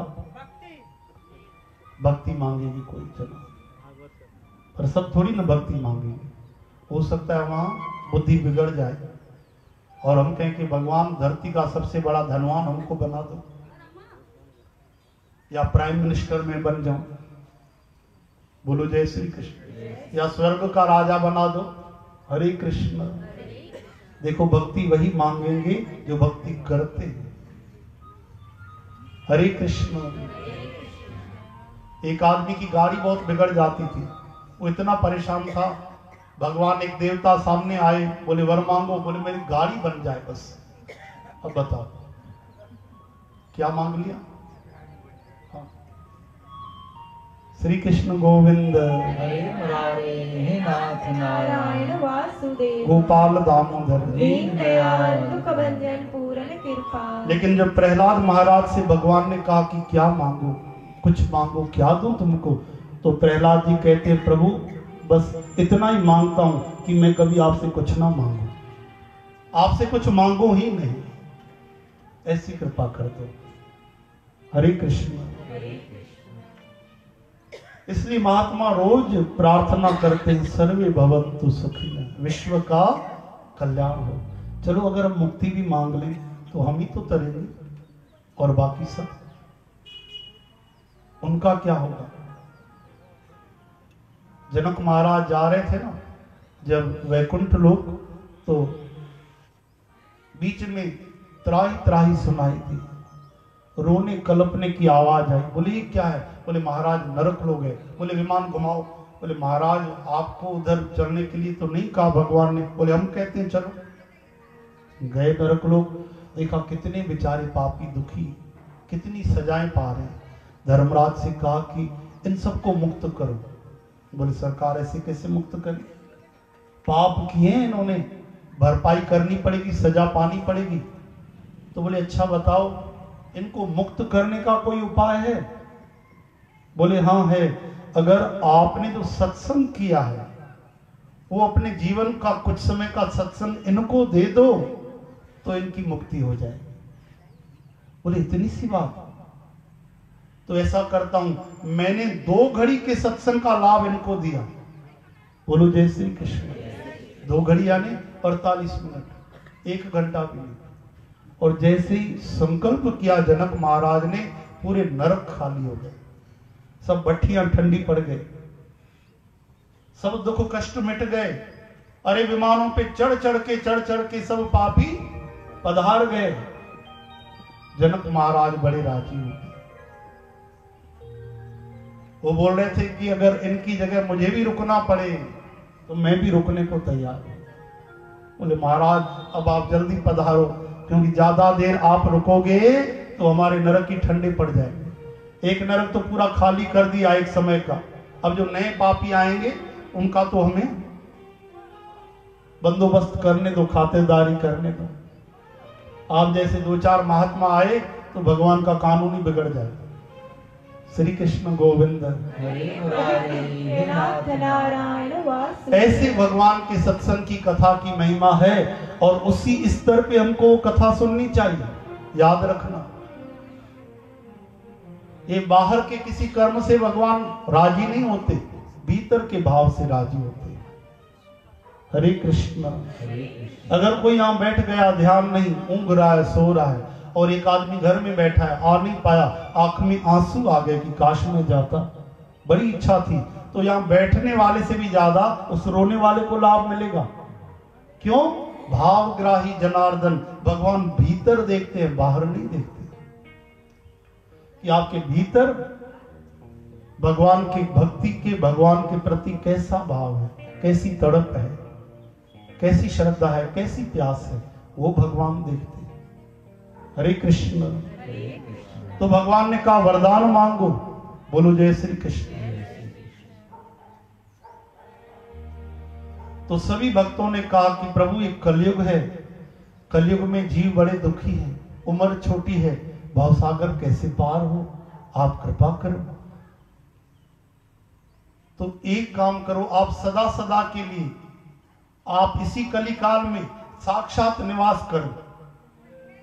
तो भगवान ने कहा, तथास्तु, हे संतों, हे मुनियों, हे ऋषियों, आज से मैं श्रीमद् भागवत में जिस कथा की वजह से मैं आया हूँ, प्रकट हुआ हूँ, इसी भागवत में सदा सदा के लिए निवास करूँगा। और भगवान एक रूप धारण कर उसी समय श्रीमद् भागवत में जो प्रवेश करते हैं तो आज तक, अभी तक, सदा तक इसी भागवत में भगवान कैद हो गए। बोल श्रीमद भागवत, भगवान की जय। सच में, भागवत भगवान का घर है। रामायण राम जी का घर है। यहाँ भगवान रहते हैं। कोई श्रद्धावान चाहे तो खोज निकाल। ले श्री कृष्ण गोविंद। हे नाथ नारायण वासुदेव। गोपाल दामोदर। पूर्ण कृपा। श्री कृष्ण गोविंद। हरे मुरारी हे नाथ नारायण वासुदेव। इस तरह से सनकादि महाराज जी ने कथा कही नारद जी ने सुनी। भगवान भागवत में प्रवेश कर गए। भक्ति, ज्ञान, वैराग्य युवा हो गए। अब नारद जी प्रश्न करते हैं, महाराज, आपने क्या तो कथा सुनाई? रोम रोम पुलकित हो गया। वाह वाह, परम आनंद आ गया। महाराज, ये तो आपने कथा सुनाई कि भक्ति, ज्ञान, वैराग्य का बेड़ा पार हुआ, पर आपके श्रीमद भागवत कथा से क्या किसी पापी की भी मुक्ति हो सकती है? जो भक्ति रूप न हो, ज्ञान रूप न हो, वैराग रूप न हो, ऐसा आदमी, ऐसी स्त्री क्या भागवत कथा से अपनी सदगति कर सकते हैं? तो संकादि जी ने कहा, सुनो नारद जी, आप कहते हो जिसने पाप किए हो, और हम कहते हैं जिसने पाप के अलावा कुछ ना किया हो, ऐसा आदमी, ऐसी स्त्री भी भागवत से भगवान को पा सकती है। मुक्ति पा सकते हैं। तो महाराज, कोई प्रमाण हो तो बताओ। बोले, एक सत्य घटना आपको बताते हैं। ध्यान से सुनिए। अवंतिकापुरी में एक महात्मा रहते थे, आत्मदेव ब्राह्मण। बोलो, जय श्री कृष्ण। बहुत अच्छे महात्मा। तुंगभद्रा नदी के किनारे अनुपम नगर था और धर्म पे कायम रहने वाले वे ब्राह्मण देवता सदा वेद पढ़ते, पढ़ाते, दान देते, दिलाते, लेते और देते, यज्ञ करते और कराते, जो ब्राह्मण के मुख्य लक्षण होते, सब निभाते वेद शास्त्र पढ़ते, ज्ञान अर्जित करते, सब अच्छे काम करते, लेकिन उनकी जो धर्म पत्नी थी, वो बड़ी खतरनाक थी, चंचला थी, बड़ी खतरनाक, उसका नाम था धुंधली, और एक सबसे बड़ी विपत्ति घर में ये थी, उनको संतान नहीं थी। संतान तो नहीं थी उनके घर, जो गाय थी, उनको भी बछड़ा न बछड़ी। उनके घर जो पेड़ लगे थे, किसी भी कोई फल नहीं लगा। बड़े दुखी रहते थे आत्मदेव ब्राह्मण। एक दिन इसी दुख से पीड़ित होकर जंगल चले गए। ऐसे जीवन से क्या लाभ?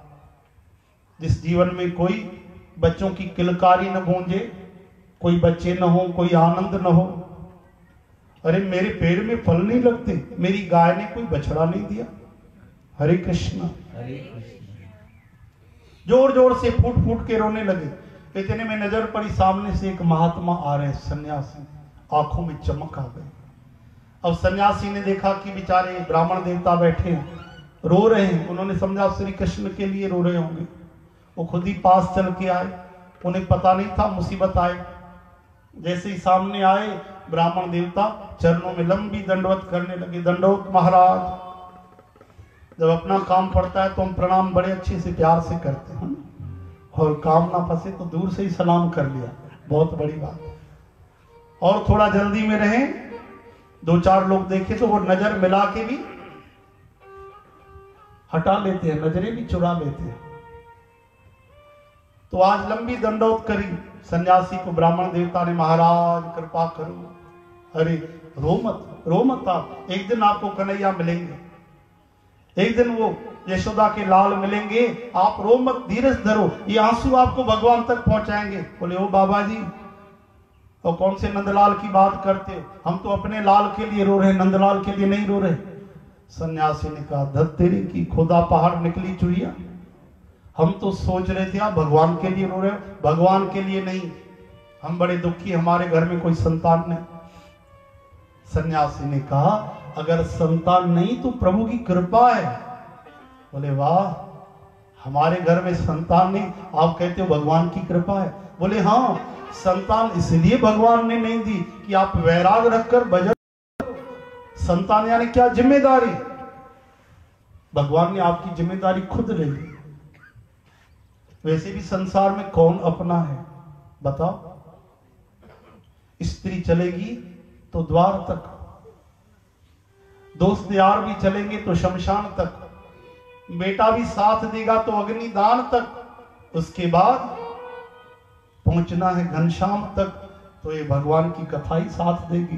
भगवान का नाम साथ देगा। इसलिए भजन करो। बोले बाबा जी आपकी बातें मेरे सर से ऊपर से फुर्र करके उड़ रही ये बातें भीतर टिकने वाली नहीं। हमें बेटा चाहिए, आपको बेटा देना पड़ेगा। बोले, रुको रुको। ऐसे बाल हटाए, मस्तक पड़ा। मस्तक की रेखाएँ कोई विरले पड़ती बोलो, जय श्री कृष्ण। आज तो हाथ की रेखाएँ पढ़ने वाले भी ज्योतिषी दुर्लभ हो गए। जैसी माथे की रेखाएँ पड़ी, बोले, महाराज, आपको सात जन्मों तक कोई बेटा बेटी लिखी नहीं। सात जन्मों तक? हाँ न बेटा, न बेटी। अब तो लगाओ अकल की पेटी खोलो। अब ब्राह्मण देवता जो नाराज़ हुए, सर पटक पटक के सन्यासी के चरणों में रोने लगे, अरे भैया, ये क्या करते हो? बोले, आपने मेरा दुख सात गुना बढ़ा दिया। हम तो एक जन्म की बात करते थे, सात जन्म संतान नहीं होगी, अब मैं जीऊँगा नहीं, आपके चरणों में ही मरूँगा। बोले, हम अच्छे बुरे फंसे यहाँ पे। अच्छा राम राम करते जा रहे थे, इनसे दुखड़ा पूछ लिया। अरे भैया, हम कौन ब्रह्म हत्या का पाप सर पे ले? रुको रुको भैया, रुको रुको। बोले, बेटा, देते हो कि नहीं? नहीं तो हम सर पटक के मरेंगे यहाँ। बोले, रुको, भला, रुको। थैली में से एक फल निकाला। बोले, भैया, ये पत्नी को खिला देना और शुद्धता से रहे, प्रभात को उठ जाए, भजन करे, शुद्ध आहार ले, दूध ले और निंदा न करे, बुराई न करे, ऐसे नियम बता दिए। तो उनको बहुत सुंदर एक भक्त बेटा होगा। हा आहा, गदगद हो गया। चरणों में गिर पड़ा। बोले, महाराज, अब आपने बहुत अच्छा किया। आप सन्यासी क्या जानो? बच्चे जब चिल्ल करते हैं, उधम मचाते हैं, तब कैसा आनंद आता है जैसे कानों में मिश्री घुल गई हो। हाँ? जब बच्चों के लिए घोड़ा बनना पड़ता है, गधा बनना पड़ता है, उसमें भी सुख है। आप क्या जानो? आप सन्यासी, ठहरे बाल ब्रह्मचारी। बड़ी कृपा। बार बार प्रणाम किया, चले गए। सन्यासी भी भागे। हरे कृष्ण। घर आए पत्नी के हाथ में फल दिया, देखो मैं तुम्हारे लिए क्या लाया हूँ। एक फल लाए हो और कहते हो, क्या लाया हूँ जैसे कोई सोने का हार बनवा के लाए हो। अरे देवी, ये कोई सामान्य फल नहीं, इससे बेटा होगा तुमको बेटा। बोली अच्छा बेटा होगा? हाँ। कैसे बेटा होगा? बोले, सन्यासी ने दिया शुद्ध महात्मा ने। और सुनो, इसे तुरंत खाओ मेरे सामने। अब पता नहीं मन में क्या विचार आए, डर गई। बोले, रुको रुको, ऐसे कैसे तुरंत खाओ? अच्छे से बढ़िया, शुद्ध होकर भगवान को प्रणाम कर, भोग लगा के खाएँगे? बोले हाँ ये ठीक है। खाना ज़रूर। हाँ आप जाओ, हम खा लेंगे। पति से छल किया। पति चले गए। अब सोचने लगी, सहेली के पास, अरे, फल खाऊं? अब तो डर लगने लगा। बेटा भी फिर दस महीने गर्भ धारण करना पड़ेगा, ये तो बड़ी दुख की बात है। कौन संभालेगा? सहेली कहने लगी, कैसी बातें करती है तू? ये तो सारी माताएँ करती है। बोले अरे, पगली तुझे पता नहीं। अगर डाकू आ गए तो मैं दौड़ूँगी कैसे? अरे, तू सोचती क्यों है ऐसा?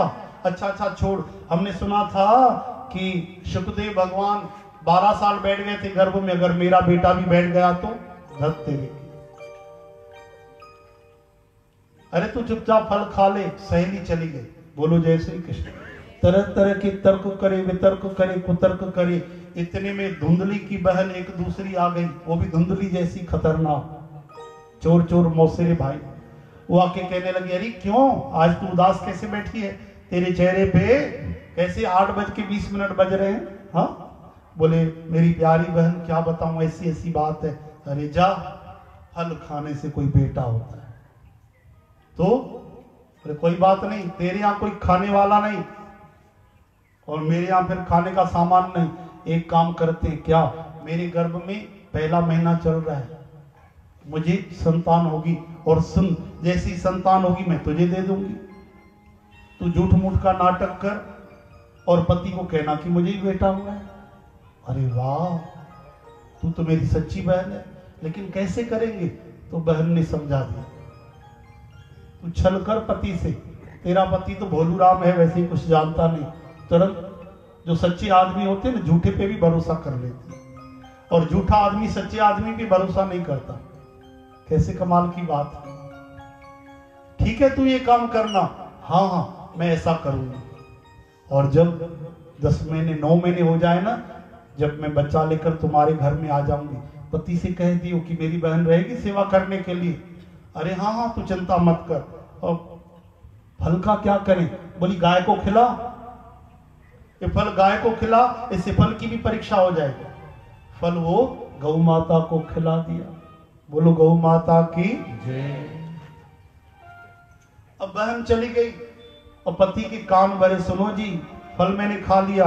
अरे वाह, बहुत अच्छा काम किया। और सुनो, जब नौ महीने होंगे ना हाँ अपने बहन को बुला लूँगी, पहले कह देती हूँ। फिर मत कहना। बहन करती? हाँ हाँ अरे, अभी से बुला ले। नहीं, अभी नहीं बुलाना है अभी नहीं। नौ महीने बाद बुलाऊँगी, क्योंकि वो सेवा करेगी, हमसे फिर ज़्यादा काम हो नहीं पाएगा।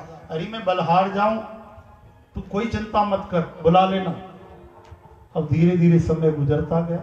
बोलो, जय श्री कृष्ण। और जैसे नौ महीने गुजरे, एक दिन आधी रात को बहन आई धुंधली की, बच्चा लेकर। सांठ गांठ तो पहले की थी हर महीने में पेट में पट्टी बढ़ा देती थी, कपड़े बांधती जाती थी। पति महोदय समझते थे, संत की आशीर्वाद फल रही एक महीना, दो महीना हाँ? और जैसे नौ महीने हुए, बच्चा लेकर आई उसकी बहन, और चिल्लाना शुरू किया धुंधली ने अरे जी, सुनते हो स्वामी जी, बेटा हुआ है, बेटा। पति दौड़ते आए, अरे, बेटा हुआ है। नाचने लगे। सारा गाँव मर पड़ा, सबको खुशी आ गई। बेटा होने के ठीक तीन महीने बाद गाय को भी सुंदर बेटा हुआ। लोग कहने लगे, देखो तो सही, आज वृक्ष भी फल दे रहे हैं। आज गाय ने बेटा दिया, बछड़ा बछड़ी नहीं, कमाल हो गया। सच कहते हैं भाई, भगवान देते हैं तो छप्पर फाड़ के देते हैं और लेते हैं तो थप्पड़ मार के भी लेते हैं। बोलो, जय श्री कृष्ण। अब तो पूरा नगर उमड़ पड़ा, अनुपम नगर। अनुपम बात हुई अनुपम नगर में। आत्मदेव ब्राह्मण के घर में दो दो बेटा। अरे माता ने बेटा दिया, गाय ने भी बेटा दिया। बस उसके कान गौ माता जैसे थे। आत्मदेव महाराज ने कहा, इसके कान गौ जैसे हैं। हम इसका नाम रखते हैं गौ कर्ण महाराज की जय। परम भागवत गौकर्ण। तो इसका नाम हमने धरा गौकर्ण और बेटे का नाम धरते हैं। अभी बोलने वाले थे, धुंधली आई यू आर अटेंशन प्लीज़ खबरदार, चुप रहो। क्या हो गया देवी? बोले, सबका नाम तुम ही धरते जाओगे? हमने नौ महीने धरा है पेट में। कष्ट हमने सहे, पीड़ा हमने सही। और चंडी बठी आई भेड़ को अब पति संकेती कूड़ डाला है। हमने नौ महीना धरा है, नाम हम धरेंगे। अच्छा अच्छा देवी तो बिगड़ती काय को? तुम ही नाम धरो। धुंधली का बेटा है। इसका नाम रखते हैं धुंधकारी। गौकर्णो महाज्ञानी, धुंधकारी महाखल गौकर्ण महाज्ञानी महान भक्त हुए। वैरागी, प्रेमी। और धुंधकारी महाखल खल्या दुष्ट जो खाए और लड़े। ख और ल, खाए और लड़े। और ऐसा वैसा नहीं महाखल महान दुष्ट हुआ। बच्चों को ले जाता, मारता, पीटता, किसी बच्चों को कुएँ में ढकेल देता। हरे कृष्ण। धीरे धीरे दोनों बड़े होने लगे। गौकर्ण महाराज खूब भक्ति करें, संतों का संग करें माता पिता को भगवान जैसे आदर करें। क्योंकि वो संत के फल के आशीर्वाद से हुए थे। और जो धुंधकारी था, वो छल से पैदा हुआ। उसके जन्म में ही छल, माँ का छल, मासी का भी छल। फांसी लग गई गले में और धुंधकारी धीरे धीरे घर के रुपए उड़ाने लगा धीरे धीरे जुआ खेलने लगा और फिर पैसे कम हुए लूट मार करने लगा। अब चोरी शुरू कर दी चोरी से मन नहीं भरा, डकैती शुरू कर दी, शराब पीने लगा, व्यभिचार करने लगा। ऐसा कोई धरती पे पाप नहीं था जो धुंधकारी ने न किया। महान पाप की। हरे कृष्ण। अब एक दिन की बात। पिता से कहा, पैसे निकालो। सब पैसे लूट के ले गया। पिताजी रोने लगे। कि ऐसा बेटा काश नहीं पैदा हुआ होता तो मैं पहले कितना सुखी था। वापस चले गए कहा? वन में। और जैसे पहले रो रहे थे, कुछ साल पहले, वैसे आज एक पेड़ के नीचे फूट फूट के रोने लगे। अब जैसे रोने लगे ना तो जैसे पहले एक सन्यासी मिले थे, आज घूमते घामते संतों के दर्शन करते गौकर्ण महाराज मिल गए, अपने बेटे। और आकर देखा, अरे, चरण स्पर्श की पिताजी आप वन में बैठकर रो रहे हैं, क्यों? किस लिए रो रहे हैं? क्या बताऊँ बेटे? गले लगाया। एक तू है और एक वो पापी धुंधकारी कहाँ धरा की धूल और कहाँ गगन का चंद्रमा? मेरा बेटा हुआ भी तो कैसा? आज मैं रो रहा हूँ, काश ये बेटा पैदा ही नहीं होता, ये जन्म ही नहीं लेता। मैं क्या करूँ? इससे तो मर जाना अच्छा है। कई साल पहले मैं मरने के लिए आया था वन में तो एक सन्यासी मिले, मुझे फल दिया। आज वो ऐसा बेटा हुआ कि आज फिर मरने के लिए आया हूँ कि ऐसा बेटा क्यों हुआ? अब गौकर्ण महाराज ने जो ज्ञान दिया दो श्लोकों में, उसे गौकर्ण गीता कहते हैं। गौकर्ण महाराज कहते हैं, पिताजी, जब आपको बेटा नहीं था, तब भी आप दुखी नहीं थे। आपकी कामना ने आपको दुख दिया। आपके बेटे की तृष्णा ने, पुत्रेष्णा ने दुख दिया और किसी ने दुख नहीं दिया।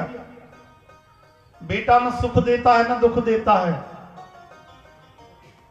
दुख तो अपनी तृष्णा देती, अपनी कामना ही दुख देती। पिताजी, आज भी आपको बेटा नहीं दुखी कर रहा तो कौन दुखी कर रहा? आपकी कामना कि मुझे सदाचारी बेटा, महान बेटा क्यों नहीं हुआ? ये बेटा क्यों हुआ? ये कामना ही तो दुख दे रही पिताजी, यहाँ संसार में कौन किसका है? केवल राम जी हैं, प्रभु हैं, उनसे नाता जोड़ो, जिससे नाता जुड़ा हुआ है, उनकी तरफ़ आप देखते भी नहीं। पिताजी, सदा सुखी होना है तो दो चीज़ों का ख्याल रखो। क्या? एक ममता छोड़ो, दूसरा अहंता छोड़ो। अभिमान छोड़ो और मोह ममता छोड़ो। फिर बताओ कौन सा दुख है? और मोह करना ही है तो मेरे मोहन से करो कि गोविंद मेरो है, गोपाल मेरो है। अहंकार भी करना है पिताजी तो ये करो कि श्री कृष्ण ऐसे करुणा निधान, प्रेम के अवतार, सबके मालिक, वो मेरे अपने हैं, वो मेरे सखा हैं, वो मेरे माता पिता हैं आहा, वो मेरे स्वामी हैं। इससे बड़ी कोई बात है? आँखों में आँसू भरा है। बेटे, यही बात तो सन्यासी कहता था, तब समझ में नहीं आई। आज समझ में आ रही लोहा गर्म हो तो चोट असर करती है। आज बात समझ में आई। आज मैं तुझे वचन देता हूँ, बेटी। आज सबका नाता मैं श्री कृष्ण से जोड़ दूँगा और इसी वन में रहकर उनकी भक्ति कर उस बनमाली को एक दिन पालूँगा। वाह बेटे, वाह, तूने तो मुझे रास्ता दिखा दिया। तुमने तो गुरु का काम किया है। गौकर्ण फिर प्रणाम करते हैं, पिताजी गले लगाते हैं, बेटा हो तो ऐसा।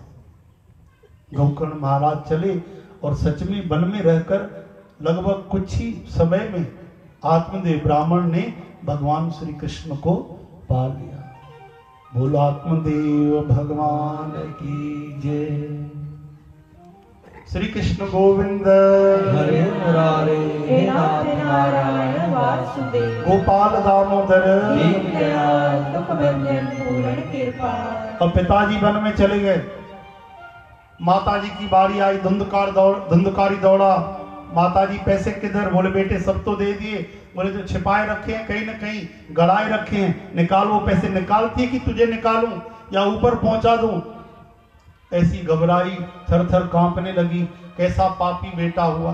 ओहो, मैंने पति से छल किया, आज उसका नतीजा मिला। ऐसी दौड़ी, डर के, सहम के, ऐसी दौड़ी सामने कुएँ में उसने छलांग लगाई और जीवन समाप्त हो गया। अब गौकर्ण महाराज ने देखा पिताजी वन को चले गए माताजी कुआँ में चली गई, और तीसरी हमारी बारी है। इसलिए भैया, हमारी तरफ़ दौड़े धुंधकारी, हमको तो किसी से मोह है नहीं, वो चल दिए सीधा तीर्थ करने। धरती पे सब तीर्थ करने, तब पद यात्रा करके जाते थे। कोई गर्ग नहीं ट्रेन की, हवाई जहाज़ की, बस की। बस, ग्यारह नंबर की बस उठाई और चल दी। हरे कृष्ण। और इस तीर्थ में कितने लाभ हैं? ज्यो ज्यो पग धरत है त्यों त्यों यज्ञ समान। हरे कृष्ण। चल दिए गोकर्ण महाराज हरि नाम कीर्तन करते करते तीर्थ करने। और इधर धुंधकारी पाँच पाँच गणिकाओं को घर में ले आए। गणिका यानी वैश्या। अब पाँच पाँच पाँच गणिकाएँ साथ थी उनकी फरमाइशें थी तो डकैती बढ़ानी पड़ी। धंधा व्यापार चोरी का बढ़ाना पड़ा। एक दिन बहुत बड़े नगर सेठ की यहाँ डाका डाल दिया। बहुत सारे सोने के हार, अंगूठिया, धन, दौलत, एक पोटली बाँध के घर में आके पटकी। पाँचों गणिकाएँ देखकर गदगद हो गई। अरे सखी, आज तो इसने चकाचक कर दिया बढ़िया, खूब माल छान के लाया। दूसरी ने कहा, अरे, माल तो लाया है, बड़ा लंबा हाथ साफ़ किया है, चोट लंबी पहुंचाई है तो जिनकी चोरी की है, वो चुप नहीं बैठेंगे, सिपाही भी ज़्यादा आएँगे। और अगर ये हमारा प्रीतम धरा गया तो पूछेंगे, माल किधर? तो माल तो ये हमको देता है। ये कहेगा, माल इधर, फिर हम जाएँगे किधर? तो अब क्या करें? बोले, इसको पहले ही भेज दो उधर, जहाँ से कोई वापस नहीं आता इधर। अरे, खूब शराब पिला दी धुंधकारी को, खाना खिला दिया शराब के नशे में दम से जाके खटिया पे गिर पड़ा और खटिया से रस्सियाँ बाँध दी, कस के। और रातों रात पाँचों गणिकाएँ मिलकर गला दबाकर रस्सियों से खींचकर उस पापी को मारने लगी। फिर भी उसके प्राण नहीं निकलते। चूल्हे में जलते हुए अंगारे पड़े हुए थे। अंगारे उठा के उसके मुँह में ठूस दिए भयंकर जलते अंगारे तड़प तड़प के उसके प्राण निकल गए बोल वृंदावन बिहारी लाल। रातों रात वहीं ज़मीन खोदी, लाश गड़ा दी वहीं पे। ऊपर से बढ़िया लेप वेप कर दिया, समतल कर दी। सुबह लोग पूछ रहे थे, तुम्हारे कहाँ गए? प्रेमी कहाँ गए? बोले, एक साल के लिए बाहर गए। एक साल के लिए बाहर, और रात को खुद भी पाँचों बाहर चलते। इधर गौकर्ण महाराज को पता पड़ा कि धुंधकारी की मृत्यु हो गई। तो बेचारा वो अपने ऐसे पापी भाई के लिए भी सब पुण्य काम, पुण्य कृत्य करते आए। गया में गया, उसने श्राद्ध की विधिवत अपने भाई के लिए। और सब तीर्थ करके, श्राद्ध करके वापस आया उसी घर में। देखा घर सुनसान हो गया। ओहो, इस घर में पूज्य पिताजी रहते थे। आज वो भी नहीं, माँ भी नहीं मेरा भाई धंधकारी भी मर गया। ओहो, भगवान की कैसी विचित्र माया है। सच में ये संसार ऐसा ही है। दुखों का घर है संसार, इसमें जो सुख लेना चाहता है वो दुखी होता है। याद रखना, दुख कब आता है? सुख की आशा ही दुख का कारण है। अच्छा अगर आप सुख की इच्छा न करो तो दुख कहाँ से आएगा? धन की इच्छा है तो धन नहीं तो दुख होगा। बेटे की इच्छा है तो बेटा नहीं तो दुख होगा। जिसको बेटे की इच्छा नहीं, उसे दुख क्यों होगा? मान की इच्छा है, अपमान मिल गया तो दुख होगा। और जीने की इच्छा है तो मरना तो पड़ेगा ही तो दुख होगा। और जिसे कोई इच्छा नहीं, बताओ उसे कौन दुखी कर पाएगा? वो कभी दुखी नहीं हो सकता। वो तो सदा आनंद में रहेगा। सदा दिवाली संत के आठों पहर बसंत। गौकर्ण महाराज ने भगवान के विधान को नमस्कार किया, रात को सो गया और धुंधकारी प्रेत बन गया भयंकर प्रेत। बोलो, जय श्री कृष्ण। रात को अचानक दो बजे प्रेत के रूप में प्रकट हुआ। कई तरह के रूप बदलने लगा। पहले भेड़ के रूप में आया। भेड़ को हाँक दिया गौकर्ण ने। फिर हाथी बन के आ गया। अरे फिर हाथी के रूप में चला गया तो कभी देवता बन के आ गया। फिर कभी ऐसे धुंधली छांव बन के आ गया। आकृति जैसे धुएँ की होती है। समझ गए, गौकर्ण महाराज? कौन हो भाई तुम? क्या चाहते हो? क्या नाम है तुम्हारा? परिचय दो अपना। तो बोलना चाहता था, बोल नहीं पा रहा था। धुंधकारी, जल उठाया, मंत्र पढ़ा और दे मारा जैसे ही तो बोलने की ताकत आ गई। अब वो बात करने लगा। धुंधकारी कहने लगा, मेरे भाई गौकर्ण मुझे नहीं पहचाना। मैं तुम्हारा भाई, मेरा नाम धुंधकारी है, अब पहचाना? अरे, अहम भ्राता तदोस्मी, धंधकारी नाम। तुम्हारी ये गति कैसे हो गई? तुम्हारे लिए तो मैंने गया में श्राद्ध किए थे। बोले, ऐसे हज़ारों श्राद्ध करोगे तो भी मेरी मुक्ति होने वाली नहीं। मेरे भाई, मैं कोई साधारण पापी नहीं, महापापी हूँ। अरे तो फिर तुम्हारी मुक्ति कैसे होगी? बोले, यही तो तुमको पता करना मैं बड़ा दुखी हूँ। प्रेत के योनि में भटकता रहता हूँ। जल के लिए, प्यास के लिए तड़पता हूँ, पानी नहीं मिलता। भूख इतनी लगती है, भोजन नहीं कर सकता। हवा में उड़ते जाता हूँ, कभी स्थिर बैठ नहीं सकता। प्रेतों की कैसी दशा? मेरे भाई तड़प तड़प के रोने लगा। मेरा उद्धार करो उद्धार करो। गौकर्ण ने कहा अभी तो तुम जाओ। मैं सुबह तुम्हारे मुक्ति का उपाय करता धुंधकारी चला गया। सुबह हुई, गौकर्ण महाराज पूछने लगे कि भैया, कैसे इसका उद्धार हो? बड़े बड़े विद्वान कहने लगे, भैया, गया में श्राद्ध से होता है। बोले, हम अच्छे से श्राद्ध करके आए। तब भी हाँ तब भी उद्धार नहीं हुआ। रात को तो आया था धुंधकार प्रेत बन। बोले, फिर महाराज, हम तो कुछ नहीं जानते, और क्या उपाय हो सकता है? कैसे करें? बोले, सूर्य भगवान से पूछो। भुवन भास्कर सुबह निकले तो गौकर्ण महाराज ने आवाहन किया, सूर्य भगवान का मंत्र पढ़े और जैसे ही सूर्य भगवान को पुकारा, सूर्य भगवान का रथ रुक गया, चक्के रुक गए, घोड़े रुक गए, आगे नहीं बढ़ता रथ। अरे, ये क्या हो गया? सूर्य भगवान ने निहारा, नीचे हाथ जोड़कर गौकर्ण महाराज पुकार रहे हैं। हे भुवन भास्कर, हे आदित्य भास्कर, सूर्य अर्क भानु दिवाकर, स्वर्ण रेता मित्र पूषा त्वष्टा स्वयंभू, हे तिमराश कृपा करो भुवन भास्कर, सूर्य भगवान, मेरे भाई का उद्धार कैसे होगा?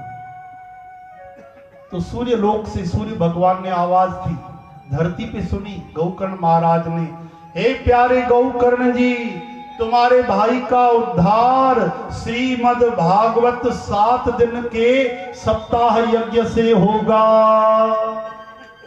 इतना कह के सूर्य भगवान आगे बढ़ गए, प्रणाम कर लिया गौकर्ण महाराज ने। फिर तो फैसला कर लिया कि बस, अब तुरंत हम अपने भाई के लिए क्या करेंगे?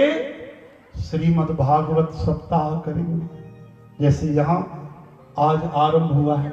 दूसरे दिन गौकर्ण महाराज तो बड़े ज्ञानी, पंडित, विद्वान, बड़े परम भक्त थे। भगवान के प्रेमी भक्त थे।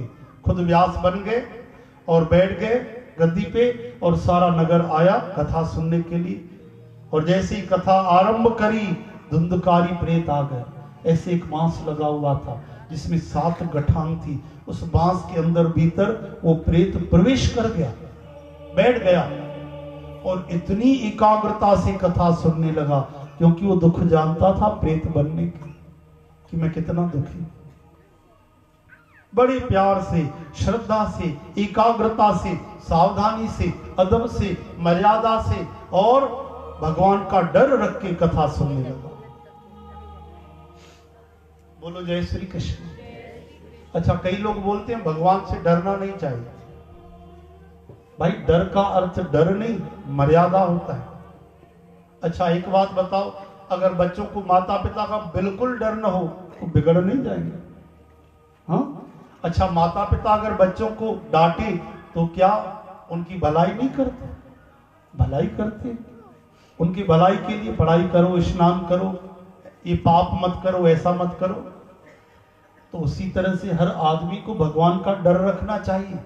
ये भगवान का डर नहीं, तभी तो हम झूठ बोलते हैं।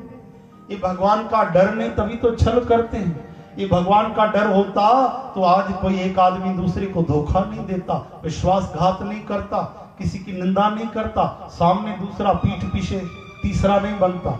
ये क्यों हो रहा है? क्योंकि भगवान का डर है। और संत कहते हैं, संत रजबदास जी कहते हैं रामायण में लिखा है, बिन भय होए न प्रीत। और संत रजबदास क्या कहते हैं? हरि डर, गुरु डर, जगत डर डर करनी मिसा रजब डरिया सो उबरा गाफिल खाई मार। रजबदास कहते हैं, हरि का डर होना चाहिए। गुरु का भी डर होना चाहिए और संसार का भी डर होना चाहिए कि मैं पाप करूँ, लोगों को पता पड़ेगा। अपने बाप का नाम खराब करूँगा, खानदान का मैं नाम खराब करूँगा तो डरेगा तब तो पाप से रुकेगा। हरे कृष्ण। ये डर सही है, डरना चाहिए। और फिर अगर जो इस धर्म से, अधर्म करने से डरता है तो भगवान उसका भवसागर का डर भी दूर कर देते हैं। भगवान तो डर दूर करने वाला। तो यहाँ डर का अर्थ है मर्यादा। पाप करने से डरना, अधर्म करने से डरना, और कोई नहीं डरेगा तो पापी बनेगा। तो धुंधकारी पहले तो बेधड़क, निडर होकर पाप करता था, लेकिन जब रिज़ल्ट सामने आया, अब काँप रहा है। डर डर के, स्वयं के, बड़ी सावधानी से हाथ जोड़कर सर झुका के बाँस के अंदर बैठकर वो कथा सुनने लगा। जैसे पहले कथा को, पहले दिन की कथा को विराम हुआ तो एक बाँस की जो पहली गांठ थी, तड़ तड़ तड़ तड़ तड़ करके फट गई। यानी एक दिन में एक बंधन टूट गया, दूसरे दिन दूसरी। इस तरह सात दिन में सातों गठाने टूट गई। और जैसे ही श्रीमद भागवत कथा का विराम दिवस हुआ, कथा की विराम अवस्था आई तो धुंधकारी उस बाँस से निकलकर चार भुजाएँ धारण करके, श्री विष्णु भगवान का स्वरूप धारण करके विमान में बैठ गया। बोलो, भागवत भगवान की आकाश से विमान आ गया। चार हाथों वाले भगवान के पार्षद आए और बिठा दिया विमान पे। धुंधकारी को सोने के मुकुट पहनकर धुंधकारी वैकुंठ जाने लगा, रोने लगा, हाथ जोड़कर शुक्रिया करने लगा, धन्यवाद करने लगा, मेरे भाई भाई हो तो ऐसा। मुझे जैसे पापी प्रेत को तूने उद्धार कर दिया भागवत कथा से। साधन हो तो श्रीमद भागवत कथा। कि सात दिन में मुझे भगवान मिल गए। मेरे जैसे पापी के लिए तो करोड़ जन्म लेकर उद्धार भी होना संभव नहीं था। लेकिन तूने मेरा भागवत कथा से उद्धार कर दिया। तेरे लाख शुक्र है। गौकर्ण महाराज कहते, नहीं, ये तो मेरे गोविंद की कथा का चमत्कार लेकिन हे पार्षदो, आप रुको। भगवान के जो पार्षद है, चार बाहों वाले, उनको रोक दिया। क्या हुआ गौकर्ण जी? बोले, महाराज, इनको कहा ले जा रहे हो आप मेरे भाई को? बोले, वैकुंठ में भगवान के पास। क्यों ले जा रहे हो? क्योंकि इसने कथा सुनी। तो महाराज, ये जो सैकड़ों लोग बैठे, इन्होंने भी कथा सुनी इनके विमान कहाँ है? इनके लिए भी विमान लाओ। इसी ने थोड़ी ना कथा सुनी है। हमने कथा नहीं कही। केवल एक विमान लाए, क्यों? तो पार्षद मुस्कुरा के कहने लगे, बड़े राज की बात है सरकार। क्या राज की बात है? बोले, महाराज, जैसी कथा धुंधकारी ने सुनी है जिस प्यार से, जिस श्रद्धा से, जिस चाव से, जिस लगन से, जिस प्रेरणा से, वैसी कथा इन सब में से किसी ने नहीं सुनी। कोई तो टाइम पास करने आया था, कोई आधी कथा में आया चला गया, कोई आया तो आधी में उठ के चला गया, कोई आधी में आकर आखिरी में बैठा, कोई आकर घड़ी को देख रहा है, किसी का हरी में ध्यान नहीं, ये सब टाइम पास करने वाले बैठे। ओहो अब सबको पीड़ा हुई जो कथा सुन रहे थे आँखों से देखा ना कि विमान आया धुंधकारी जैसा पापी जा रहा है। अब सोचो, हमको भी ऐसा नज़ारा अगर नज़र आए तो हम कैसे कथा करेंगे? और कैसे कैसे सुनेंगे? फिर तो चार बजे के पहले यहाँ पे बैठने की जगह नहीं मिलेगी। अगर आँखों से नज़ारा दिख जाए, लेकिन कानों से जो सुना, क्या वो सच नहीं? उसे आप सच मानते हो कि नहीं? हाँ या ना। सच मानते पर भरोसा नहीं करते। सोचो, अगर विश्वास हो तो फिर हमारे मन में भी वही पीड़ा होनी चाहिए जो गौकर्ण महाराज के श्रोताओं में थी। सब रोने लगे। काश हमने भी ध्यान से कथा सुनी होती। अरे बैठे भी, आए भी, समय भी दिया, पर प्यार नहीं किया कथा से। श्रद्धा नहीं रखी, लगन नहीं रखी। ओहो, रोने लगे। अच्छा तो सुनो, क्या हमने भी कथा नहीं की? ध्यान से, गौकर्ण महाराज कहते नहीं नहीं महाराज, आपने तो बड़े प्यार से कथा की। तो हमारा विमान कहाँ है? तो कहने लगे भगवान के द्वारपाल भगवान के पार्षद कहने लगे, महाराज, आपके लिए विमान आने वाला नहीं। क्यों? हमने अपराध किया। नहीं नहीं आपने अपराध नहीं किया, आप विमान में वैकुंठ नहीं जाओगे। आपको लेने के लिए तो साक्षात नारायण भगवान गरुड़ जी लेकर आएँगे। गरुड़ जी में बिठाकर आपको ले जाएँगे। ऐसा कह के पार्षद चले गए। सजल नेत्र होकर गौकर्ण महाराज जी ने प्रणाम किया भगवान को। हृदय गदगद हो गया, गला बंधा आया। कीर्तन करते जाने लगे कि नगर ने जो बैठे थे श्रोता, पैर पकड़ लिए। बोले महाराज बड़ी कथा हुई क्षमा क्षमा। त्राही माम हमारे अपराध क्षमा करो। हम क्या करें? बोले एक कथा और कर दो। बोलो जय श्री कृष्ण एक कथा आप और कर दो। अब हम वैसे ही कथा सुनेंगे जैसे धुंधकारी जी ने सुनी थी। हरे राम। हरे राम। भजन करत बिटिया भली बिना भजन नहीं पूत धुंधकारी तो प्रेत बनो। शबरी तो वैकुंठ चली। धुंधकारी भयो भूत। गौकर्ण महाराज ने कहा नगर वासियों आँखों से तुमने देखा कि मेरा भाई जो प्रेत बन गया था, सात दिन पहले मैंने तुमसे पूछा, ठीक है? सूर्य भगवान ने उपाय बताया तब भी तुमने श्रद्धा से कथा क्यों नहीं सुनी? और आँखों से देखा मेरे भाई को जो प्रेत बन गया था। कितने पाप किए थे। वो प्रेत भूत बना। वो भी चार बाहें धारण कर, भगवान का स्वरूप धारण कर, भगवान के लोक को चला गया बोले, अब की? हम कसम खाते, कान पकड़ते हैं। आप एक कथा सुनाओ। अब ऐसे कथा सुनेंगे, सब शरीर के हम दुख भूल जाएँगे। बोले, कोई बात नहीं, फिर से कथा कहेंगे। कुछ दिन बाद गौकर्ण महाराज ने फिर से कथा आरंभ की। बड़े आनंद के साथ अब सबको श्रद्धा आ गई। सबने आँखों से देख लिया कथा का चमत्कार। अब सब आकर पहले ही बैठ जाते कथा में। कोई समय नहीं देखता, घड़ी नहीं देखता, सब बड़े प्रेम से कथा श्रवण कर रहे उसके बाद जब सात दिन हुए तो आकाश में विमान छा गए। आकाश नज़र नहीं आता, विमानों की गड़गड़ाहट छा गई। जितने लोग थे उससे कई गुना ज़्यादा विवाह। पता है उस नगर में जो जीव जंतु पशु पक्षी थे, वे भी चार चार बाहें धारण करके भगवान का रूप धारण करके विमानों बैठ, विमान में बैठ बैठ कर भगवान के धाम जाने लगे। जैसे रघुनाथ भगवान गए थे ना अयोध्या से तो सबको विमानों में बैठा कर अपने साथ ले राम कथा जुग जुग अटल सबको भाखत नेत स्वर्गवास रघुबर किया सगरी पुरी समय आज गौकर्ण महाराज ने पूरे अनुपम नगर को विमानों में बिठा बिठा कर भगवान के वैकुंठ धाम में ले गए। इतने में आकाश में गरुड़ जी में बैठकर लंबी पंख फैलाकर साम वेद के ऋचाओं के गीत गूंजते हैं।